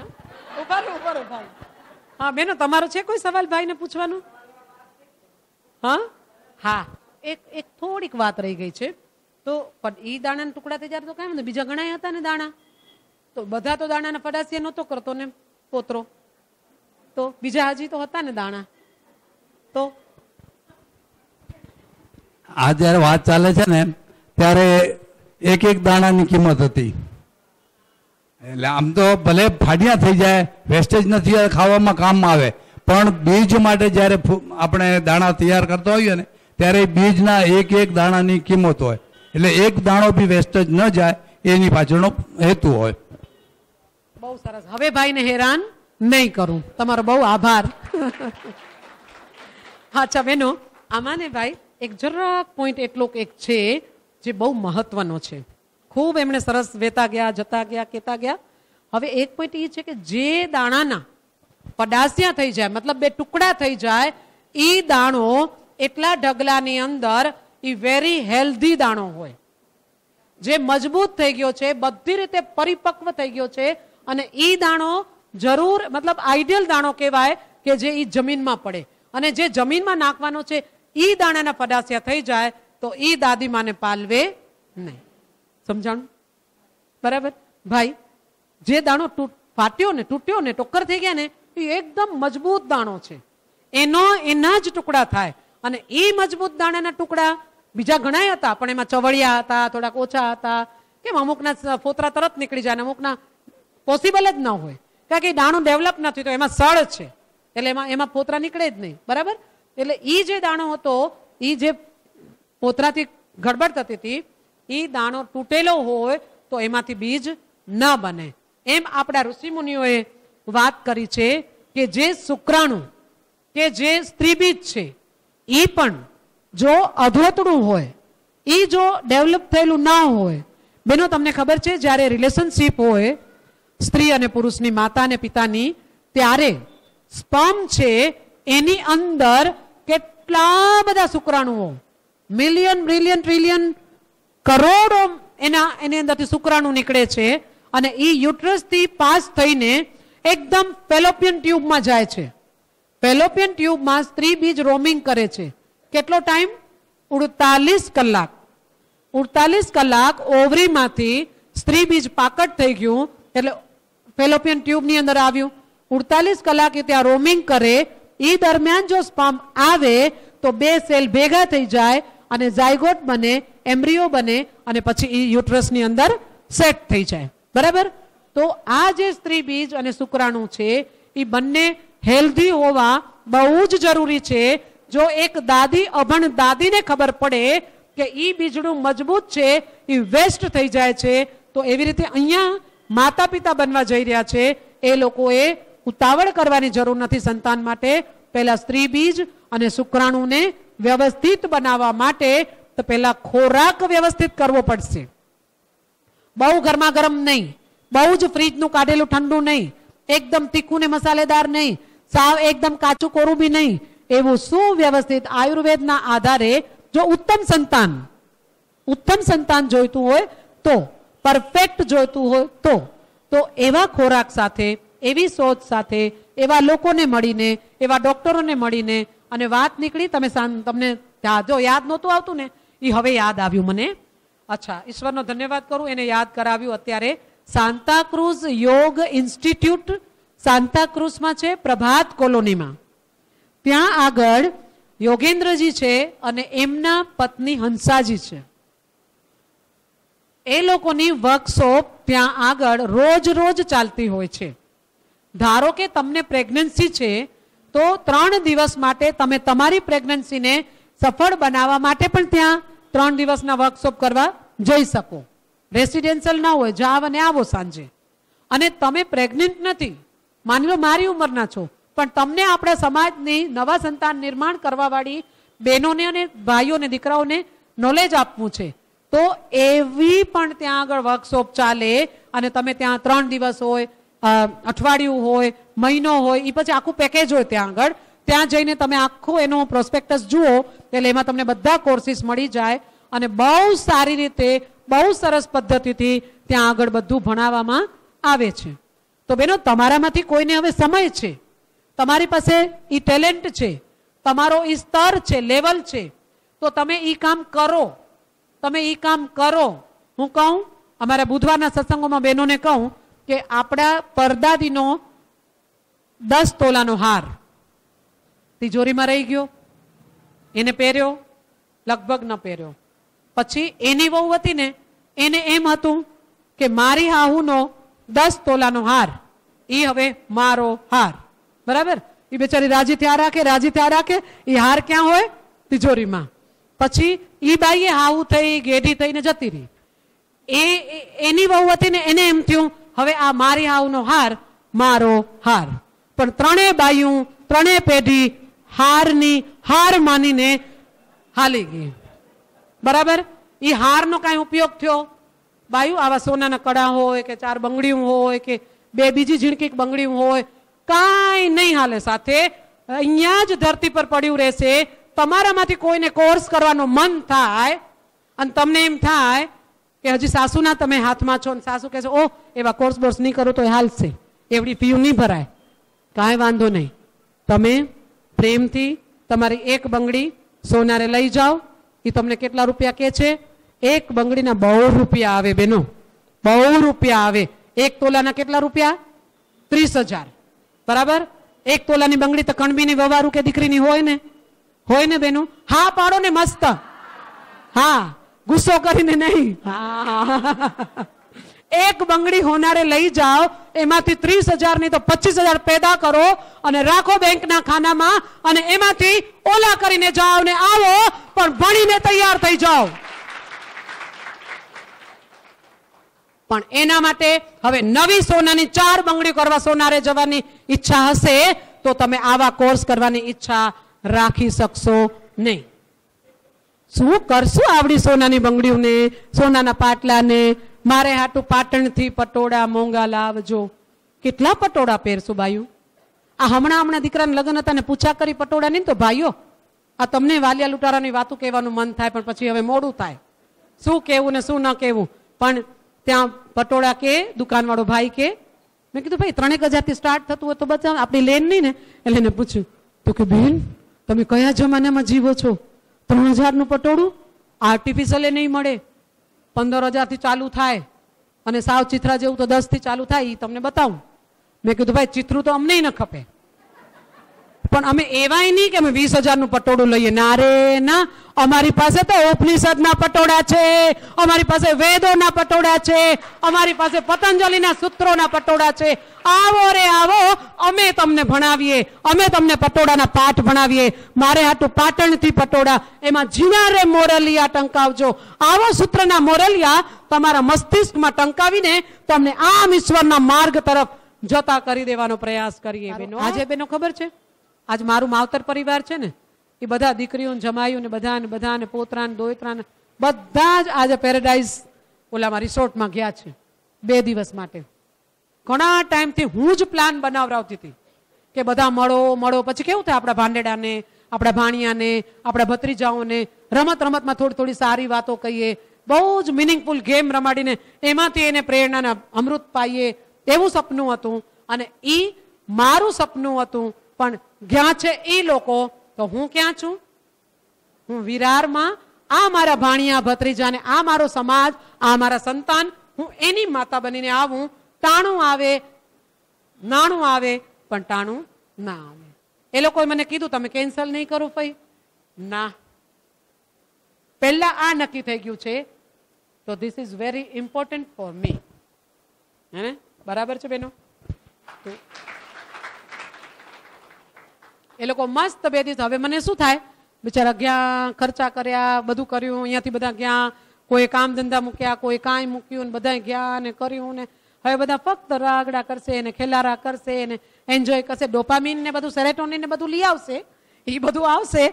પણ જે થોડાક મેસેજ દેવા જોઈએ, જે થોડુંક એને અમૃત પાવાનું હતું ને, એટલો પાર્ટ રહી ગયો. પણ હું અહીંયાથી એ લોકોને એવા મેસેજ કરીશ એ મેસેજમાંથી એ લોકો અહીંયાથી હું એક ગેમ મોકલીશ. એ ગેમ તમને કહી દઉં કેવી મોકલીશ. તો કે એમાં સવાલો હશે અને એ પચીસ માર્કના સવાલ હશે અને એમાં જે જવાબ લખવાના છે એ બધા ઓબ્જેક્ટિવ હશે. એક સવાલ પાંચ માર્ક્સનો હશે સબ્જેક્ટિવ. અને અહીંયાથી હું વોઇસ મેસેજ કરીને એને સ્પીચ મોકલીશ. અને એ સ્પીચમાં એ જે ક્વેશ્ચન પેપર છે એના એમાં જવાબ કવર હશે. અને એ લોકો પછી વન, ટુ, થ્રી કરીને એ લોકો એ જવાબ લખવા બેસશે, પછી હું ઘરેથી એ લોકોને માર્ક્સ આપીશ. અને એમાં જે નોલેજ હશે ને એ જે સવાલોના જવાબ હશે એ એ લોકો માટે એક, આ મોટા શાસ્ત્રોનું પ્રવચન હશે. મારું કામ થઈ ગયું ને? આપણી સામે ટેકનોલોજી છે ને? આપણે વોશિંગ મશીનમાં કપડાં ધોઈને મસ્ત પરવારી જોઈએ છીએ ને થોડીક વારમાં. દોઢ દોઢ કલાક સુધી માથું નમાવીને, એ બ્રશ મારીને ધોકા મારીને આમ આમ, બધું મટી ગયું ને? આ ટેકનોલોજી છે. ટેકનોલોજીનો ભરપૂર ઉપયોગ માતાઓ કરવો પડશે. તો આપણે ક્યાં હતા? ફરી પાછા આવી જઈએ આપણી જગ્યા ઉપર. દાળિયાવાળો દુવા લઈ ગયો. એટલે ભાઈઓ, તમને આ બાઈને ઈચ્છા થઈ કે વાલિયા લુટારાની વાત કહો. તમે મને બળુકું સમર્થન ના આપ્યું, પણ કે ને કે મા એ તો માં જ છે ને. એના બચ્ચાને આપે. બચ્ચાની ઈચ્છા ન હોય ને તો નાક બંધ કરીને કાન આમ. મેલેરિયાની લારીઓ કડવી દવા પણ આપી દે કે ના, મારા બચ્ચાને મેલેરિયા તાવ મટી જાય. બરાબર? તો ભાઈઓ, આ બેનની વાત એવી હતી કે વાલિયા લુટારાની આપણે બધાને બધી ખબર જ છે. પણ અત્યારે હું લિંકમાં એમ ટાંકી રહી છું કે વાલિયો લૂંટારો લૂંટ કરી કરીને લૂંટતો હતો. હવે નારદ મુનિને એને લૂંટવાનો પ્રયાસ કર્યો. તો નારદ મુનિએ કીધું કે ભાઈ, તને મારું બધું, મારી કને છે કેટલું? પણ જે છે એ બધું તને દઈ દઈશ. એકવાર તું હટ કાઢીને ઘરે જા અને ઘરે જઈને બધાને પૂછી આવ. તારી પત્નીને પૂછ, તારા સંતાનોને પૂછ અને એ લોકોને પૂછ કે તું જે આ લૂંટફૂટ કરીને જે રોટલા રડે છે ને, તો એનું જે કર્મ પણ લાગશે, એમાં તને તારી પત્ની ને તારા બચ્ચાને બધા ભાગ વેરાવશે. ખાલી એટલું પૂછીને આવ અને મારા પર વિશ્વાસ રાખ. હું અહીંયાથી એક વીસ, એક સેકન્ડ પણ ક્યાંય આગળ પાછળ થઈશ નહીં. હું અહીંયા જ ઊભો રહીશ. વાલિયાને વિશ્વાસ નહોતો, પણ એ ગયો ખરો. જઈને એની પત્નીને પૂછ્યું, એના સંતાનોને પૂછ્યું, બધાને પૂછ્યું. બધાએ એને કીધું કે અમે તમારા આ કર્મની અંદર ક્યાંય ભાગ લેશું નહીં અને વેદ પણ કે છે જો વ્યક્તિ કર્મ કરતા है वही फल भुगतता है जो व्यक्ति जितना कर्म करता है उतना ही फल न ज्यादा न कम તો ये बात को लेकर વાલીઓ તો જે ગયો તો ખરો જવાબ મળ્યા ભાગતો અથડાતો પછડાતો ઊભો થતો આવીને નારદ મુનિના ચરણોમાં પડ્યો અને એની આંખ અંદરની આંખ ખુલી ગઈ પ્રજ્ઞા ચક્ષુ ખુલ્યા જ્ઞાન ચક્ષુ ખુલ્યા અને એને ખબર પડી કે આ હું ખોટું કામ કરીને કરું અને આ લોકો મને જો એમાં ક્યાંય હેલ્પ ન કરે, તો આ કામ આજથી મારું પૂરું થયું. ઠીક છે બેનો? હવે આ એક્ઝામ્પલમાં ભાઈઓને કેમ? ભાઈઓને એમ કે આ ફરવરી ચાલે છે ફેબ્રુઆરી? આવતો મહિનો માર્ચ મહિનો? માર્ચ એન્ડિંગમાં શું કરીએ? હિસાબ કિતાબ ચોપડા? સીએ સાથે, સીએ વાળા સાથે, સીએ આપણા જે હોય એની સાથે કનેક્શન એમાં લેખાજોખા એ બધું ફાઇનલ આ યરના હિસાબ કિતાબ અઠ્યાવીસ ફેબ્રુઆરી સુધીમાં પૂરા કરવાના હોય. માર્ચ એન્ડિંગમાં સોરી એપ્રિલમાં થાય. ભલે કહેવાનો મતલબ કે ચોપડા જ્યારે લખાય છે, સીએ સાથે બેસાય છે, ત્યારે બેનું હોય? બેનું ભેગી હોય? ન હોય ને ભાઈ એ તમને વીસ તોલાનો હાર કરવાનું કે, તો તમને એમ થાય કે હવે આટલા વર્ષથી કાંઈ માંગ્યું નથી તો કરી દો. તો તમે વીસ તોલાનો હાર કરો. પણ તમારી પાસે અત્યારે અનુકૂળતા નથી. પણ તમે એને વીસ તોલાનો હાર કરીને રાજી કરવાનો પ્રયાસ કર્યો. હવે તમે વીસ તોલા કે વીસ તોલાના સોનાના પૈસા કેવી રીતે ભેગા કર્યા? ફરજ તો એની પણ આવે. ફરજ તો એની પણ આવે કે એ તપાસ કરે કે તમારી કેવી અનુકૂળતા છે. જો આપણી અનુકૂળતા હોય તો મને હા આ વસ્તુ કરી દઈએ. પણ હવે વળી વાત નીકળી તો કહું કે એડીવાળા ચપ્પલ એના. તમારા છે એડીવાળા ચપ્પલ ભાઈઓ? તમારા બૂટ છે એડીવાળા? અચ્છા, તમારા લગ્નના અલગ ને સગાઈના અલગ ને કામે જવાના અલગ ને ગાર્ડનમાં જવાનું અલગ ઉમાં જવાના, એવા પંદર જોડી છે. આ મારો મધ્યાહનનો સૂર્ય બેઠો હોય ને, એની ચપ્પલું અલગ અલગ હે. કોઈક ડાયમંડ વાળી હે, તો કોઈક જરી વાળી હે, તો કોઈકમાં નાનકડી હીલ તો કોઈકમાં મોટી હીલ એવું બધું. હવે ભાઈઓ પાછું વળીને બેનુંને જુએ રહ્યા. પછી આ બાયું જઈ માવતરે જાય, તો તમે એને ઉતરાવા જાઓ રેલવે સ્ટેશન. પછી તમે ઉતરાવા જાઓ, તો બધો સામાન એના કંથી તમે લઈ લ્યો ને. બરાબર? એના હાથમાં શું હોય? પર્સ હોય, ચપ્પલ મસ્ત પહેરી હોય. હવે હવે ડ્રેસ પહેરે તો હવે ડ્રેસ હોય. સાડી હોય તો સાડી વ્યવસ્થિત પિનઅપ બિનઅપ કરેલી. મસ્ત કડાકેદાર ચાલમાં હાલે ને કુલી થઈને કોણ હાલે? ખાલી તમારા લાલ કપડા ન હોય ભાઈ.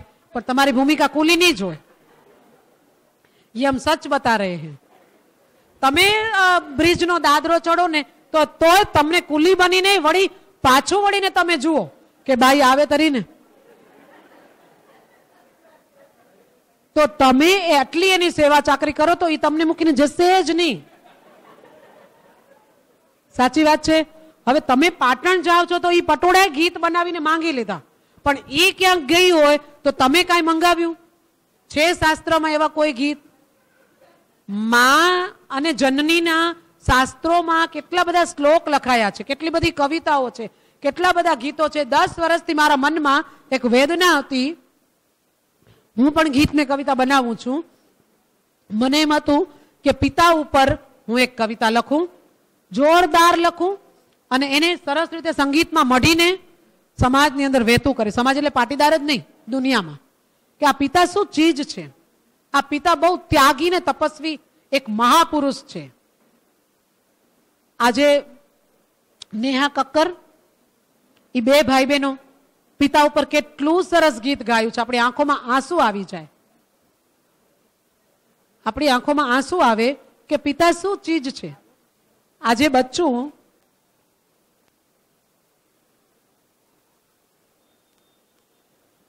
બચપનમાં પિતાના કંધા ઉપર બેસીને એકદમ આખી દુનિયાની શેર કરે છે.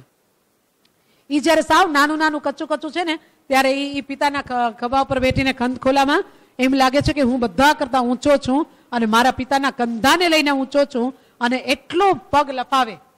પગ લફાવી લફાવીને પિતાના હૃદય ઉપર ઠકા કરાવે.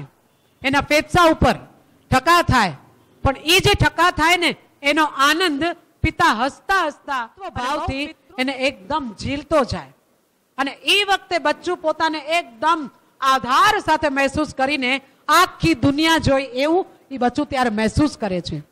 અને જે બચ્ચાને પિતાનો કંધો નીકળી જાય છે એ પિતાને જુઓ તો એની પરિસ્થિતિ અને પિતા રાતના સુવે ને, પોતરા થઈ ગયા હોય ને તોય દીકરાના ઇન્વેસ્ટમેન્ટની પિતા આજે ચિંતા કરતો હોય છે. એક ફ્લેટ હોય ને તો બીજા ફ્લેટની ચિંતા અથવા તો વિચાર, ચિંતન, પ્લાન પિતા કરતો હોય છે. તો આવું સરસ ઉંચેરું જીવન તમારું આવા તમે પરિવારની નીવ, આવા તમે પરિવારનો આધાર, હવે તમે પણ આત્મચિંતન તરફ જાઓ. કે હવે માર્ચ એન્ડિંગ આવે તો આપણે નહીં બેસવાનું. હવે એ દીકરાઓને કહ્યું તમે તમારા હિસાબ કિતાબ કરો. તો ત્યાંથી હવે આપણા કર્મના જે લેખાજોખા છે ને, ગલત, એ આપણા કટ થતા જાય. બાકી તો કર્માનુગો ગચ્છતી જીવ એક. આપણે જ્યારે શરીરમાંથી નીકળીએ છીએ ત્યારે આપણા કરેલા કર્મ આપણી સાથે જાય છે. બરાબર છે? વાત નીકળી છે તો જલ્દી જલ્દી રાજા ભરતરીની વાત કરી દઉં. ધનાની ભૂમવ પસવસ્ય ગોષ્ઠે ભાર્યા ગૃહ દ્વારે જનહ સ્મશાને દેહશ્ચિતાયામ પરલોક માર્ગે કર્માનુગો ગચ્છતી જીવ એક. તારું ધન છે ને પુરુષ અને સ્ત્રી બધા માટે, મારા માટે પણ, આપણા બધા માટે. ધન અહીંયા રહી જશે ધરતી ઉપર. તારા ચોપા છે એ ગમાણે બાંધ્યા રહી જશે એકલ ઢાળીએ. તારી પત્ની તને આજ સુધી પ્રેમ કરતી હતી, તારી કાળજી કરતી હતી. એમ કહેતી હતી કે ન્યોછાવર કરી દઉં મારું જીવન. એ પત્ની ઘરના ઝાંપા સુધી આવશે. અને જે સ્નેહીજનો, પરિવારજનો હતા એ સ્મશાન સુધી આવશે. જે દેહને રોજ નવડાવ્યો, ધવડાવ્યો, નવરાવ્યો ખવડાવ્યો પીવરાવ્યો અને જે બેનો આ દેહને સજાવવા પાર્લર સુધી લઈ ગઈ, એ દેહ ક્યાં સુધી ચાલશે? ચિત્તા સુધી. એકવાર સ્મશાનમાં જવું જોઈએ. એકવાર સ્મશાનમાં જઈને કેવી રીતે લાકડા ગોઠવાય છે, કેવી રીતે આ શરીર, શરીરને પ્રેત કહેવાય. ખાલી બોડી પડ્યું હોય ને એને પ્રેત કહેવાય. એ પ્રેતને કેવી રીતે માલિશ કરે ને શું કરે ને જે કરે જોઈએ, પછી એને કેવી રીતે ચિત્તા પર સુવડાવે અને પછી એને કેવી રીતે અગ્નિદા આપે, કેવી રીતે પ્રદક્ષિણા ફરીને ઘી કે જે પણ કાંઈ આહુતિ સામગ્રીની અપાતી હોય આપે, અને ધીરે ધીરે કેવી રીતે એ જ્યારે અગ્નિદા આપનાર વ્યક્તિ પણ, જ્યારે અગ્નિદા અંગૂઠો માચીસ પેટાવે છે ને, ત્યારે એનો અંગૂઠો દાજી ન જાય, એવી કાળજી રાખીને આ જતા જીવને અગ્નિદા આપે છે. અને પછી ધીરે ધીરે અગ્નિની જ્વાળાઓ ઊંચી થવા માંડે છે અને ધીરે ધીરે બધા જ લાકડા, બધી જ સમિદાઓ ઝાડના વૃક્ષો પેટવા માંડે છે અને એકદમ મોટી મોટી મોટી મોટી જ્વાલાઓની વચ્ચે આ શરીર ક્યાં ખોવાઈ જાય છે, ક્યાં બળી જાય છે, કાંઈ જ ખબર પડતી નથી અને આખું શરીર બળી જાય, ત્યાં સુધી ઊભા રહીએ તો ખબર પડશે કે આટલા બધા સો કિલો લાકડા, આટલું બધું ઘી આટલી બધી સામગ્રી, આટલું બધું શરીરનું વજન અને એમાં અગ્નિની વચ્ચે આ પંચ મહાભૂતથી બનેલું શરીર કેવું પંચ મહાભૂતમાં ભળીને ફક્ત પાંચ મહાભૂતમાં એક પૃથ્વી છે, એમાં આપણે માટીને ગણી લઈએ, ભસ્મને ગણી લઈએ, તો એ ફક્ત થોડોક ડગલો રાખનો રહી જાય છે. ક્યાં ગયું આપણું શરીર? ક્યાં ગયું આપણું શરીર? બેનો એકવાર હિંમત કરીને સ્મશાનમાં જઈને આ આખી વિધિને જુઓ, તો ભાઈઓને તો વૈરાગ્ય ના આવ્યો એવું ક્યાંય નથી સાંભળ્યું કે એ લોકો આખો દિવસ ત્યાં આગળ જઈને ચિત્તાને જલતી જુએ છે, પણ એ લોકોના જીવનમાં કોઈ બદલાવ આવી જાય, કે એ લોકોને વૈરાગ્ય આવી જાય, કે મને એક દિવસ આવી જ રીતે બાળી નાખશે, આવી જ રીતે મારી પણ રાગ થઈ જશે. સાવ આવી રીતે આપણે ચૂપચાપ પડ્યા હશું. આપણો હાથ ચાલશે ને હાથ પડી જશે. આપણને કાંઈ જ ખબર નહીં હોય. આવો સમય આવવાનો છે. તો એવો વૈરાગ્ય તો કોને આવ્યો બેનો? મહાત્મા બુદ્ધને. મહાવીરને આપણને ના આવ્યો. એટલે એટલા માટે આપણને લાઇબ્રેરી બનાવવી પડશે. આપણે એટલા મજબૂત બની ગયા છીએ, આપણા ઉપર આ બધા સંસ્કારો, દુનિયાના સંસ્કારો અને મોહ, માયા ને રાગ અને ભ્રાંતિ, અવિદ્યા અને અજ્ઞાનતા એટલા બધા લોખંડી ઉપર સ્તર જામી ગયા છે, થર જામી ગયા છે કે એને પેલા સમજવા પડશે. ક્યાંથી શરૂઆત કરવું સમજવા માટે શાસ્ત્રો ભણવા જ પડશે. પછી ધીરે ધીરે ફૂંક મારશું, પછી બ્રશ લેશું, પછી કયા ડિટર્જન્ટથી નીકળશે, પછી એને ખૂબ ખૂબ ખૂબ મહેનત કરશું. ત્યારે આપણી દસ જન્મ પછી, જો આદરશું આ જન્મમાં, તો દસ જન્મ પછી આપણને પણ એવું થશે. હવે તમે મને કહો, પોતરા થઈ ગયા. બરાબર બધાને? માતાઓને પણ પોતરા થઈ ગયા એવી માતાઓ છે. પણ એમ થયું કે હવે આપણે ઘર છોડી દઈએ? હવે આપણે કેટલા વર્ષથી આમાં લાગ્યા પડ્યા છીએ? પચીસ વર્ષથી આ ગૃહસ્થ આશ્રમમાં વિવાહ સંસ્કારથી અગ્નિની શ્વાસીએ પતિ પત્ની બંને એકમેકના મિત્ર બનીને રહેશું અને ઉત્તમ સંતાનનું નિર્માણ કરી એને પાછો આ કારભાર સોંપી એ સમાજને સોંપી, પરિવારને સોંપી, રાષ્ટ્રને સોંપી અને નીકળી જશું એકાવનથી. પચીસ વર્ષમાં એ ડ્યુટી પૂરી કરીને પછી આગળ વાનપ્રસ્થમાં જશું. આપણે ગયા વાનપ્રસ્થમાં? ન ગયા. પોતરા થઈ જાય પછી એના માતા પિતાની જિમ્મેદારી છે પોતરાની. હવે એનો કોર્સ ચાલુ થાય. હવે આપણો કોર્સ ઘરથી બારે જઈને હવે મારું જીવન છે એકાવનથી પંચોતેર વર્ષનું. એને કેવી રીતે પસાર કરવાનું? તો કે ભાઈ, મારી ક્યાં ભૂલો થઈ? સમજીએ. હવે એ ભૂલોને કેવી રીતે સુધારી લેવી ભગવાનના ઘરે જઈએ એના પહેલા? એ સમજી લઈએ. પછી એની સાધના કરીએ, મહેનત કરીએ અને આપણી જાત ભૂલોને સુધારી સુધારીને પરફેક્ટ બનાવીએ. પચીસ વર્ષ. પરફેક્ટ થઈ ગયા. પછી આપણે સંન્યાસ લઈએ. સંન્યાસ આશ્રમમાં પ્રવેશ કરીએ. પંચોતેરથી સો વર્ષ જો જીવન હોય તો. અને પછી ત્યાં જઈને આપણે કરેલી ભૂલો અને આપણે કરેલી ભૂલોનો સુધાર હવે પાછળવાળા ગૃહસ્થમાં જઈ અને ઘરે ઘરે જઈને સમજાવીએ. કોઈના પણ ઘરે બેલ મારીએ. પરંપરા હોય એ જો વૈદિક પદ્ધતિ હોય, તો બેલ મારો અને કદાચ ઓલું નાનું બચ્ચું દરવાજો ખોલે ને તો પણ એ આપણે ચરણ સ્પર્શ કરીને નાચતું નાચતું ઘરમાં જઈને પરિવારજનોને સંદેશો આપે કે આપણા ઘરે દાદા, બા, પિતાજી, આપણા ઘરે સંન્યાસી આવ્યા છે, અતિથિ આવ્યા છે. સંગીત વાગે, પણ આ પરંપરા તો મહાભારતનું યુદ્ધ થયું ત્યારે જ લુપ્ત થઈ ગઈ. એટલે આપણને સંન્યાસ આશ્રમની મગજમાં કલ્પનાય નથી. બાબુ, તું તો હજી ચોથા ધોરણમાં પાંચમા ધોરણમાં નહીં જવાનું, છઠ્ઠા ધોરણમાં નહીં જવાનું, સાતમા ધોરણમાં નહીં જવાનું.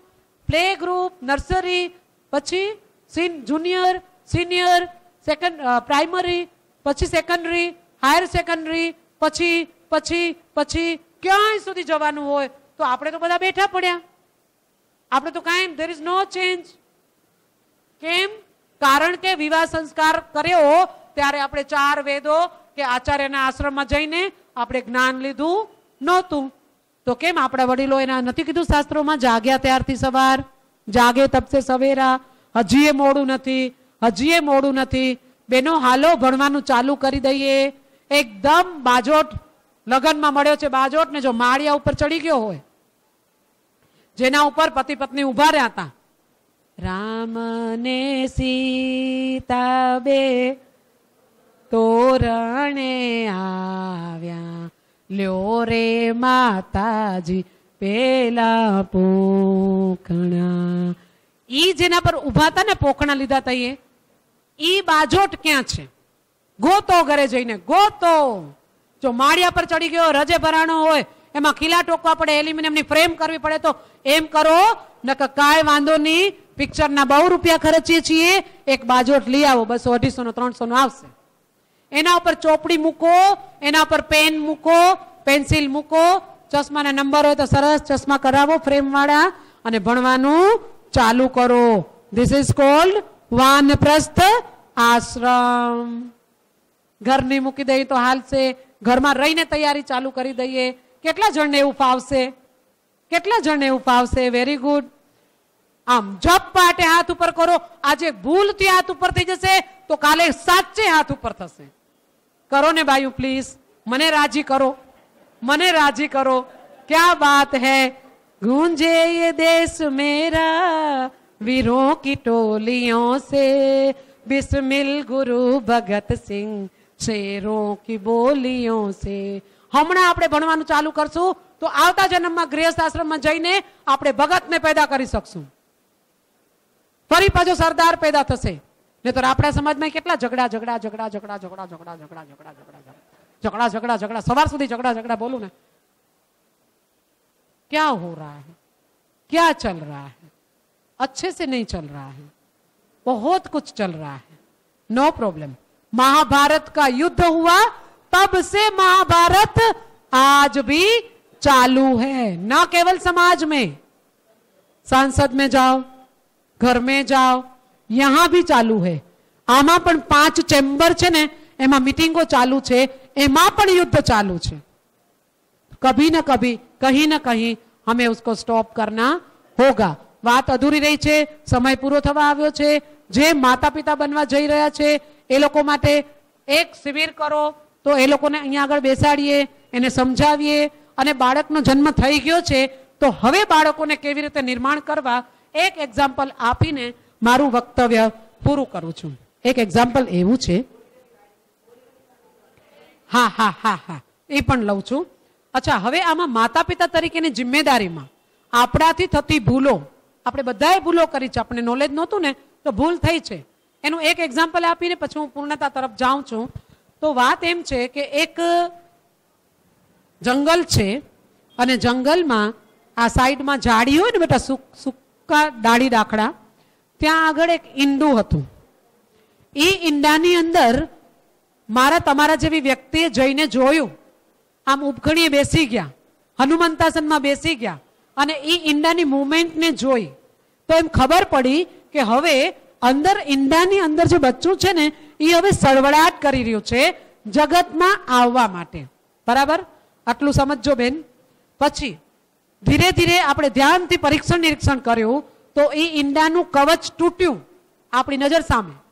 એ કવચ તૂટ્યું, એક હોલ પડ્યું, પછી સારું એવું સ્ક્વેર થયું, પછી રેક્ટેંગલ થયું, અને એમાંથી ધીરેથી બચ્ચું બારે આવ્યું. આટલું નજર સામે આવ્યું સીન? હવે એ બચ્ચું બારે આવીને એકદમ ધીરે ધીરે ચાલવાનો પ્રયાસ કરવા લાગ્યું. એ ધીરે ધીરે ચાલવાનો પ્રયાસ કરવા લાગ્યું, ત્યારે મારા તમારા જેવી અનનોન વ્યક્તિએ અનનોલેજબલ નોલેજ નહોતું, એવી અજ્ઞાન વ્યક્તિએ એ બચ્ચાને હાથમાં પકડી લીધું. હાથમાં પકડીને પછી એને આમ ધીરે ધીરે હલાવવાની, ચલાવવાનો પ્રયાસ કર્યો. તો એને એમ કે હું એને મદદ કરું. જોજો બેનો, આમાં બધું આવી ગયું આ એક્ઝામ્પલની અંદર. એ વ્યક્તિને એમ થયું કે આ બચ્ચાને ઉડાન ભરવામાં હું મદદ કરું. બન્યું એવું કે એને એ બચ્ચાને ધીરે ધીરે ચલાવવાનો પ્રયાસ કર્યો અને ચલાવતા ચલાવતા એ વ્યક્તિને એમ થયું કે હવે આ બચ્ચું હમણાં જ ઉડશે.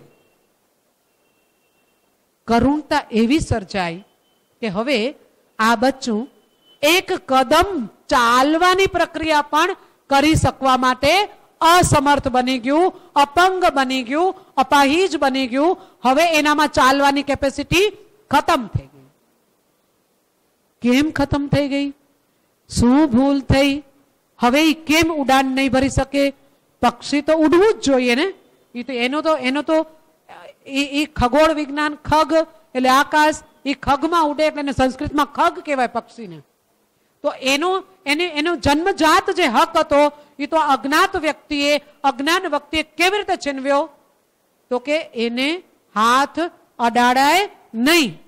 ઈ ઈંડામાંથી બચ્ચું બારે આવ્યું, પછી ઈ બચ્ચું ઉડવા માટે, ચાલવા માટે જેટલો સમય મથામણ કરે, એની પાંખોને ચલાવે, એ જેટલું જેટલું ચલાવે, ત્યાં એની પાંખોના મૂળિયામાં એક ગ્રંથિ હોય, એક ગ્લેન્ડ હોય, એ જેટલું જેટલું પંખી હલાવે ને એની પાંખને, એમ એમ ઈ ગ્રંથિ એક્ટિવેટ થાય, એક્ટિવ થાય એ ગ્રંથિની અંદર મૂવમેન્ટ સ્ટાર્ટ થાય, અને એ ગ્રંથિમાં જો મૂવમેન્ટ સ્ટાર્ટ થાય, તો એની અંદર હોર્મોન્સ કેમિકલ્સ એન્ઝાઇમ્સ આ બધા એક્ટિવેટ થાય, સિક્રેટ થાય. તો આ પ્રક્રિયા થવાની બંધ થઈ ગઈ. હવે એની પાંખો ઉડી જ શકે એમ નથી. હવે એની પાંખોનો મૂળ રૂટ હતો એ બટકી પડ્યો, મેળાઈ ગયો. હવે એ ક્યારે આ બચ્ચું નહીં તો ચાલી શકે કે નહીં તો ઉડી શકે? એની પાંખો કોને કાપી નાખી? એક અજ્ઞાન વ્યક્તિએ. એક અવિદ્યાથી ભરેલી વ્યક્તિએ ઓનું આખું જીવન ખરડી નાખ્યું.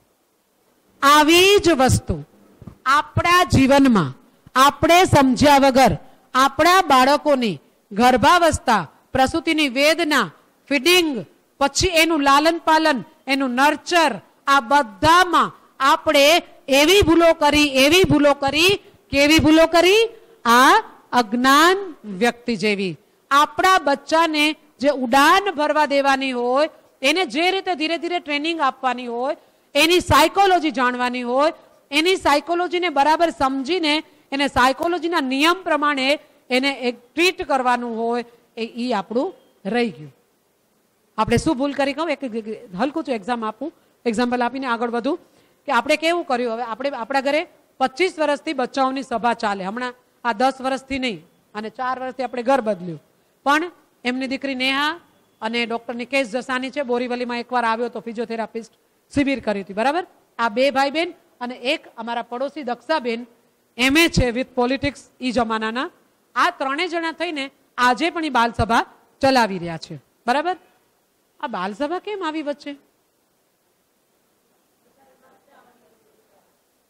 હા, તો બાલસભામાં આ જ્યારે એકદમ આમ આખો રૂમ ભરેલો હોય આપણા રૂમની, આપણે બેડરૂમ અને હોલ વચ્ચેની દિવાલ તોડી નાખી.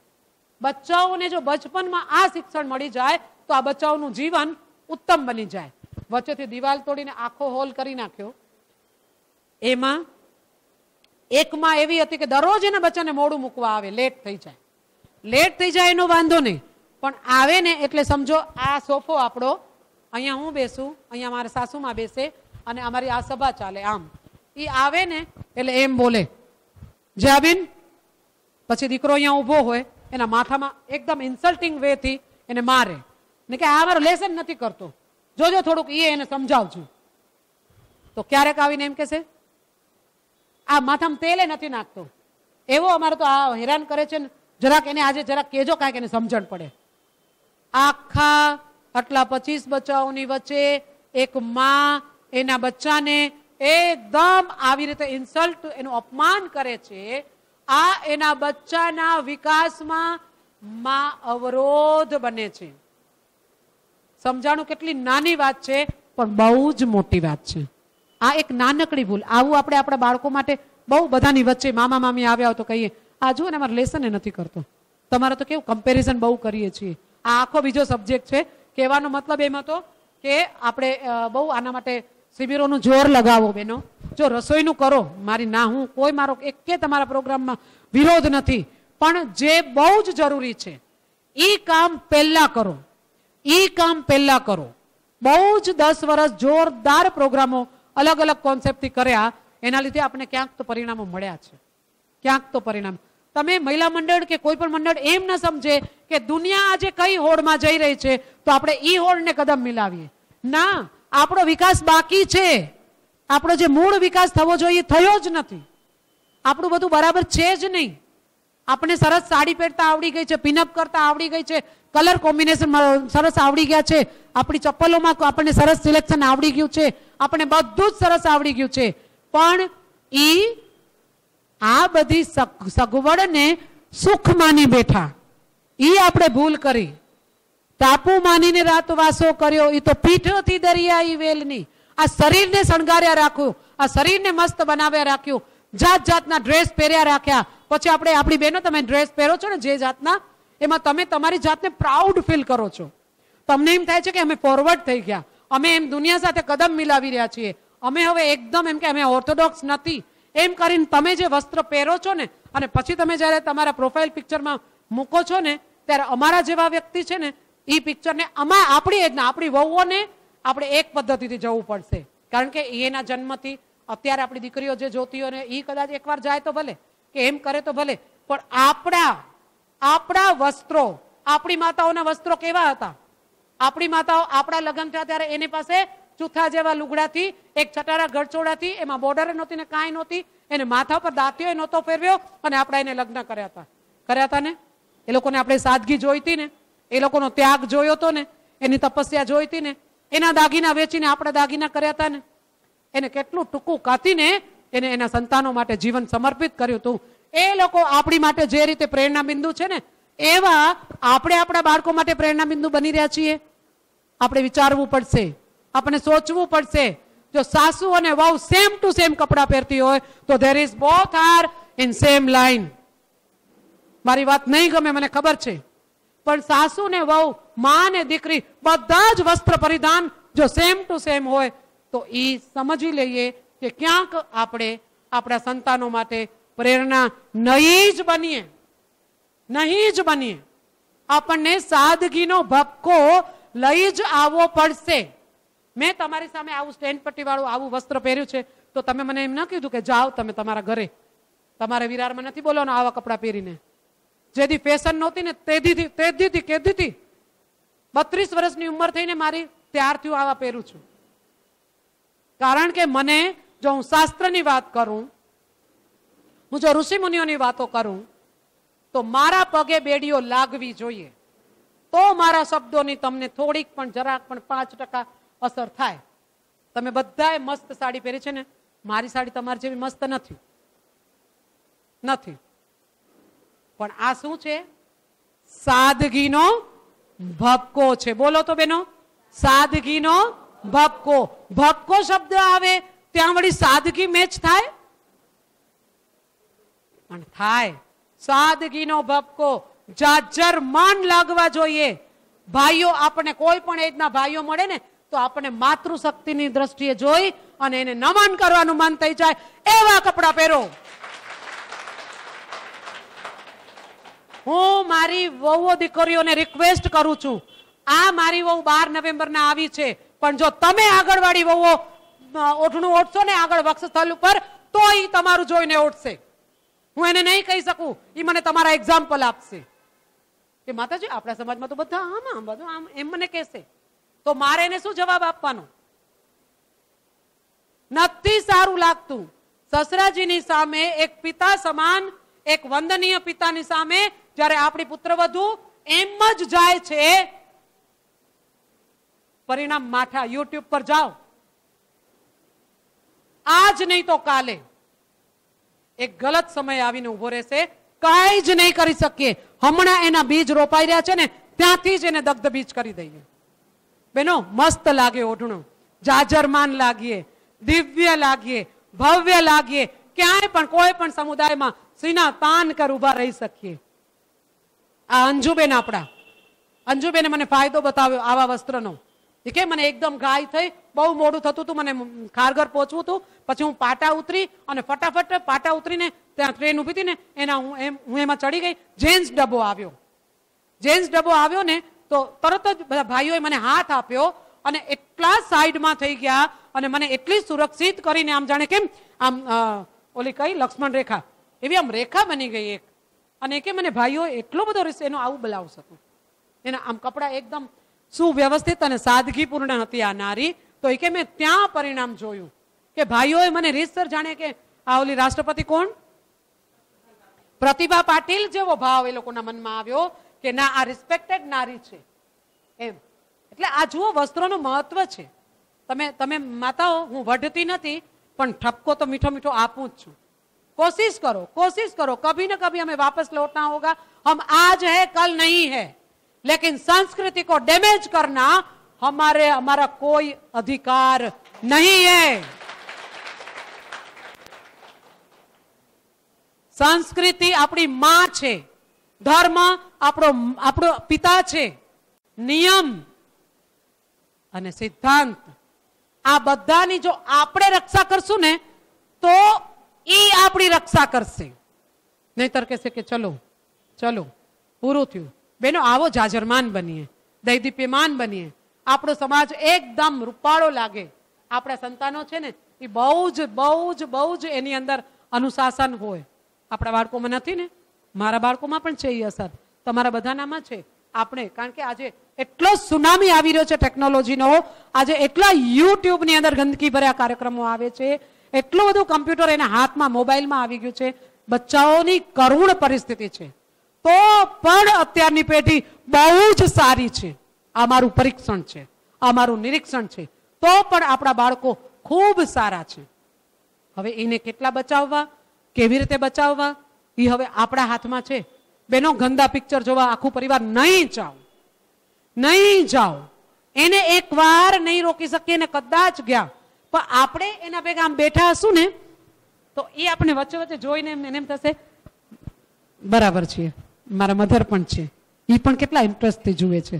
તો એને અંદર સબકોન્શિયસમાં એમ થશે કે we are right we are on right path આ એના અંદરના મનમાં જશે બેનો. હવે વાતો બધી નીકળી છે ને ટાઈમ ના પાડે છે, તો ક્યાંય દુઃખ લાગ્યું હોય, કોઈ શબ્દથી તમને ક્યાંક આડઅસર કે મન દુભાયું હોય, તો હું એના માટે ક્ષમા ચાહું છું. વાણીને વિરામ આપું છું. ચાલો બહુ સરસ. ધન્યવાદ. તો આપણે હું કહું છું કે ત્યારબાદ વિરારના મહિલા મંડળના પ્રમુખ શ્રીમતી લીલાબેન પોકાલને વિનંતી કરું છે આવી આપણી સમાજને પ્રોગ્રામનો અનુરૂપ શુભ સંભળાવે. આવો લીલાબેન. ઉમિયા માત કી જય. સૌ પ્રથમ તો આપણે જયાબાને એના માર્ગદર્શન ઉત- સાંભળ્યું.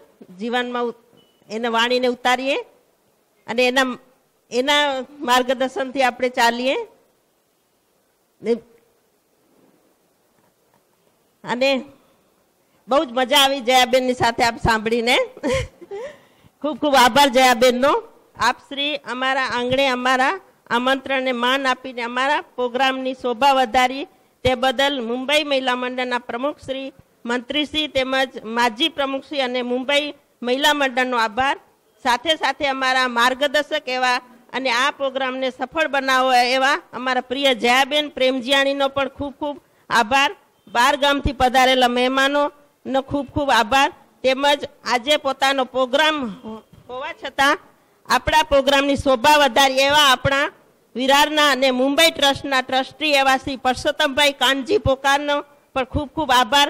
તેમજ અમારા વિરાર મહિલા મંડળ તેમજ વિરાર યુવક મંડળનો પણ ખૂબ ખૂબ આભાર. અસ્તુ. ના. આ મહિલા મંડળ, મુંબઈ મહિલા મંડળની સાથે જોડાય. ત્યાંથી મને બહુ જ એમ કે મજા આવે છે અને નવું જાણવા મળે છે, નવો પ્લેટફોર્મ મળ્યો છે. અને ઘણું બધું એમ કે શીખવાનું મળ્યું છે, નવી નવી પહેચાન બધું એમ કે મળે છે. હું મારી વિનંતી છે કે આપણે એની સાથે રહીએ, સાથે જોડાઈએ બહેનો સાથે રહીએ અને સારું જાણીએ, સારું કામ કરતા રહીએ. એવી મારી આશા છે. તો છે. પણ એમાંથી સમય કાઢીને આપણી વચ્ચે આવ્યા, એમના પોતાના પરિવાર, પારિવારિક પ્રસંગોને છોડીને પણ તે એવી જ રીતે અને આપણને જે જ્ઞાન આપ્યું, આપણી સંસ્કૃતિને કેવી રીતે બચાવવી એના ઉપર આપણે મહિલાઓ ખૂબ જ ધ્યાન આપશું, કારણ કે આ, આની શરૂઆત મહિલાઓ કરશે તો જ થશે. અને બીજું કે, આપણે જે ઘરે ઘર ઘર આપણે લાઇબ્રેરીની વ્યવસ્થા, જેમ કે પુસ્તક વાંચન, એટલે એનાથી પણ ખૂબ લાભ થાય છે. એના ઉપર આપણે પૂરેપૂરું ધ્યાન આપી અને સંસ્કાર શિબિરો આપણે રાખીએ, મહિલાઓ માટે, બહેનો માટે, અને ખાસ કરીને યુવક, યુવતીઓ માટે, યુવાનો માટે, જેનાથી આપણને આપણી જે સંસ્કૃતિ છે એમનો બચાવ થશે. અને આપણે આપણા સંસ્કારને ન ભૂલતા સરસ રીતે આપણું જીવન વ્યતીત કરીએ. એવી જ રીતે આજનો આ કાર્યક્રમ આપણે બહુ જ સરસ રીતે આપણો પૂરો થાય છે. એમાં હું વિરાર સમાજના યુવક મંડળ, મહિલા મંડળ તથા વ્યવસ્થા જાળવી એ બધાનો ખૂબ ખૂબ આભાર માનું છું. મહિલા મંડળ મુંબઈ વતી આપ સૌને અમારા આમંત્રણને માન આપીને અહીં આવ્યા છો. આપ સૌનો ખૂબ ખૂબ આભાર. ફરી ફરી હું જયાબેન પ્રેમજી પ્રેમજીયાણીનો આભાર ભારત માતા કી જય! ભારત માતા કી જય! વંદે! માતરમ! વંદે! માતરમ! બોલો શ્રી ઉમિયા માત કી જય! અસ્તુ. હું મહિલા મંડળ મુંબઈના પ્રમુખ શ્રીમતી દક્ષાબેન હરેશ મેઘાણી. અમે આજ મહિલા મંડળ મુંબઈ દ્વારા વિરાર ખાતે એક કાર્યક્રમ યોજ્યો છે, જેમાં નામ, એમનું શણભરની જિંદગી, ક્ષણ, યુગ યુગ, સંભારણા. આ કાર્યક્રમમાં વક્તા અમારા માર્ગદર્શિકા એવા શ્રીમતી જયાબેન પ્રેમજીયાણી હતા, જેઓએ આ કાર્યક્રમમાં આપણી સંસ્કૃતિને કેવી રીતે બચાવીએ એ વિષય પર ખૂબ જ સરસ રીતે ચર્ચા કરી. આપણે મહિલાઓની શું ફરજ બને છે, એ રીતની જ સારી રીતે જાણકારી આપી અને આવા અમે કાર્યક્રમો દરેક પરાઓમાં કરતા જ રહીએ છીએ, જેથી આપણી બે બહેનો આપણી સાચી દિશામાં, સરસ દિશામાં આગળ વધે અને પ્રગતિના શિખરો સર કરે. મારું નામ હેમિકા વિરેન્દ્ર પોકાર છે અને હું શ્રી કચ્છ કડવા પાટીદાર મહિલા મંડળ મુંબઈના અત્યારે મહામંત્રી તરીકે કાર્ય કરું છું.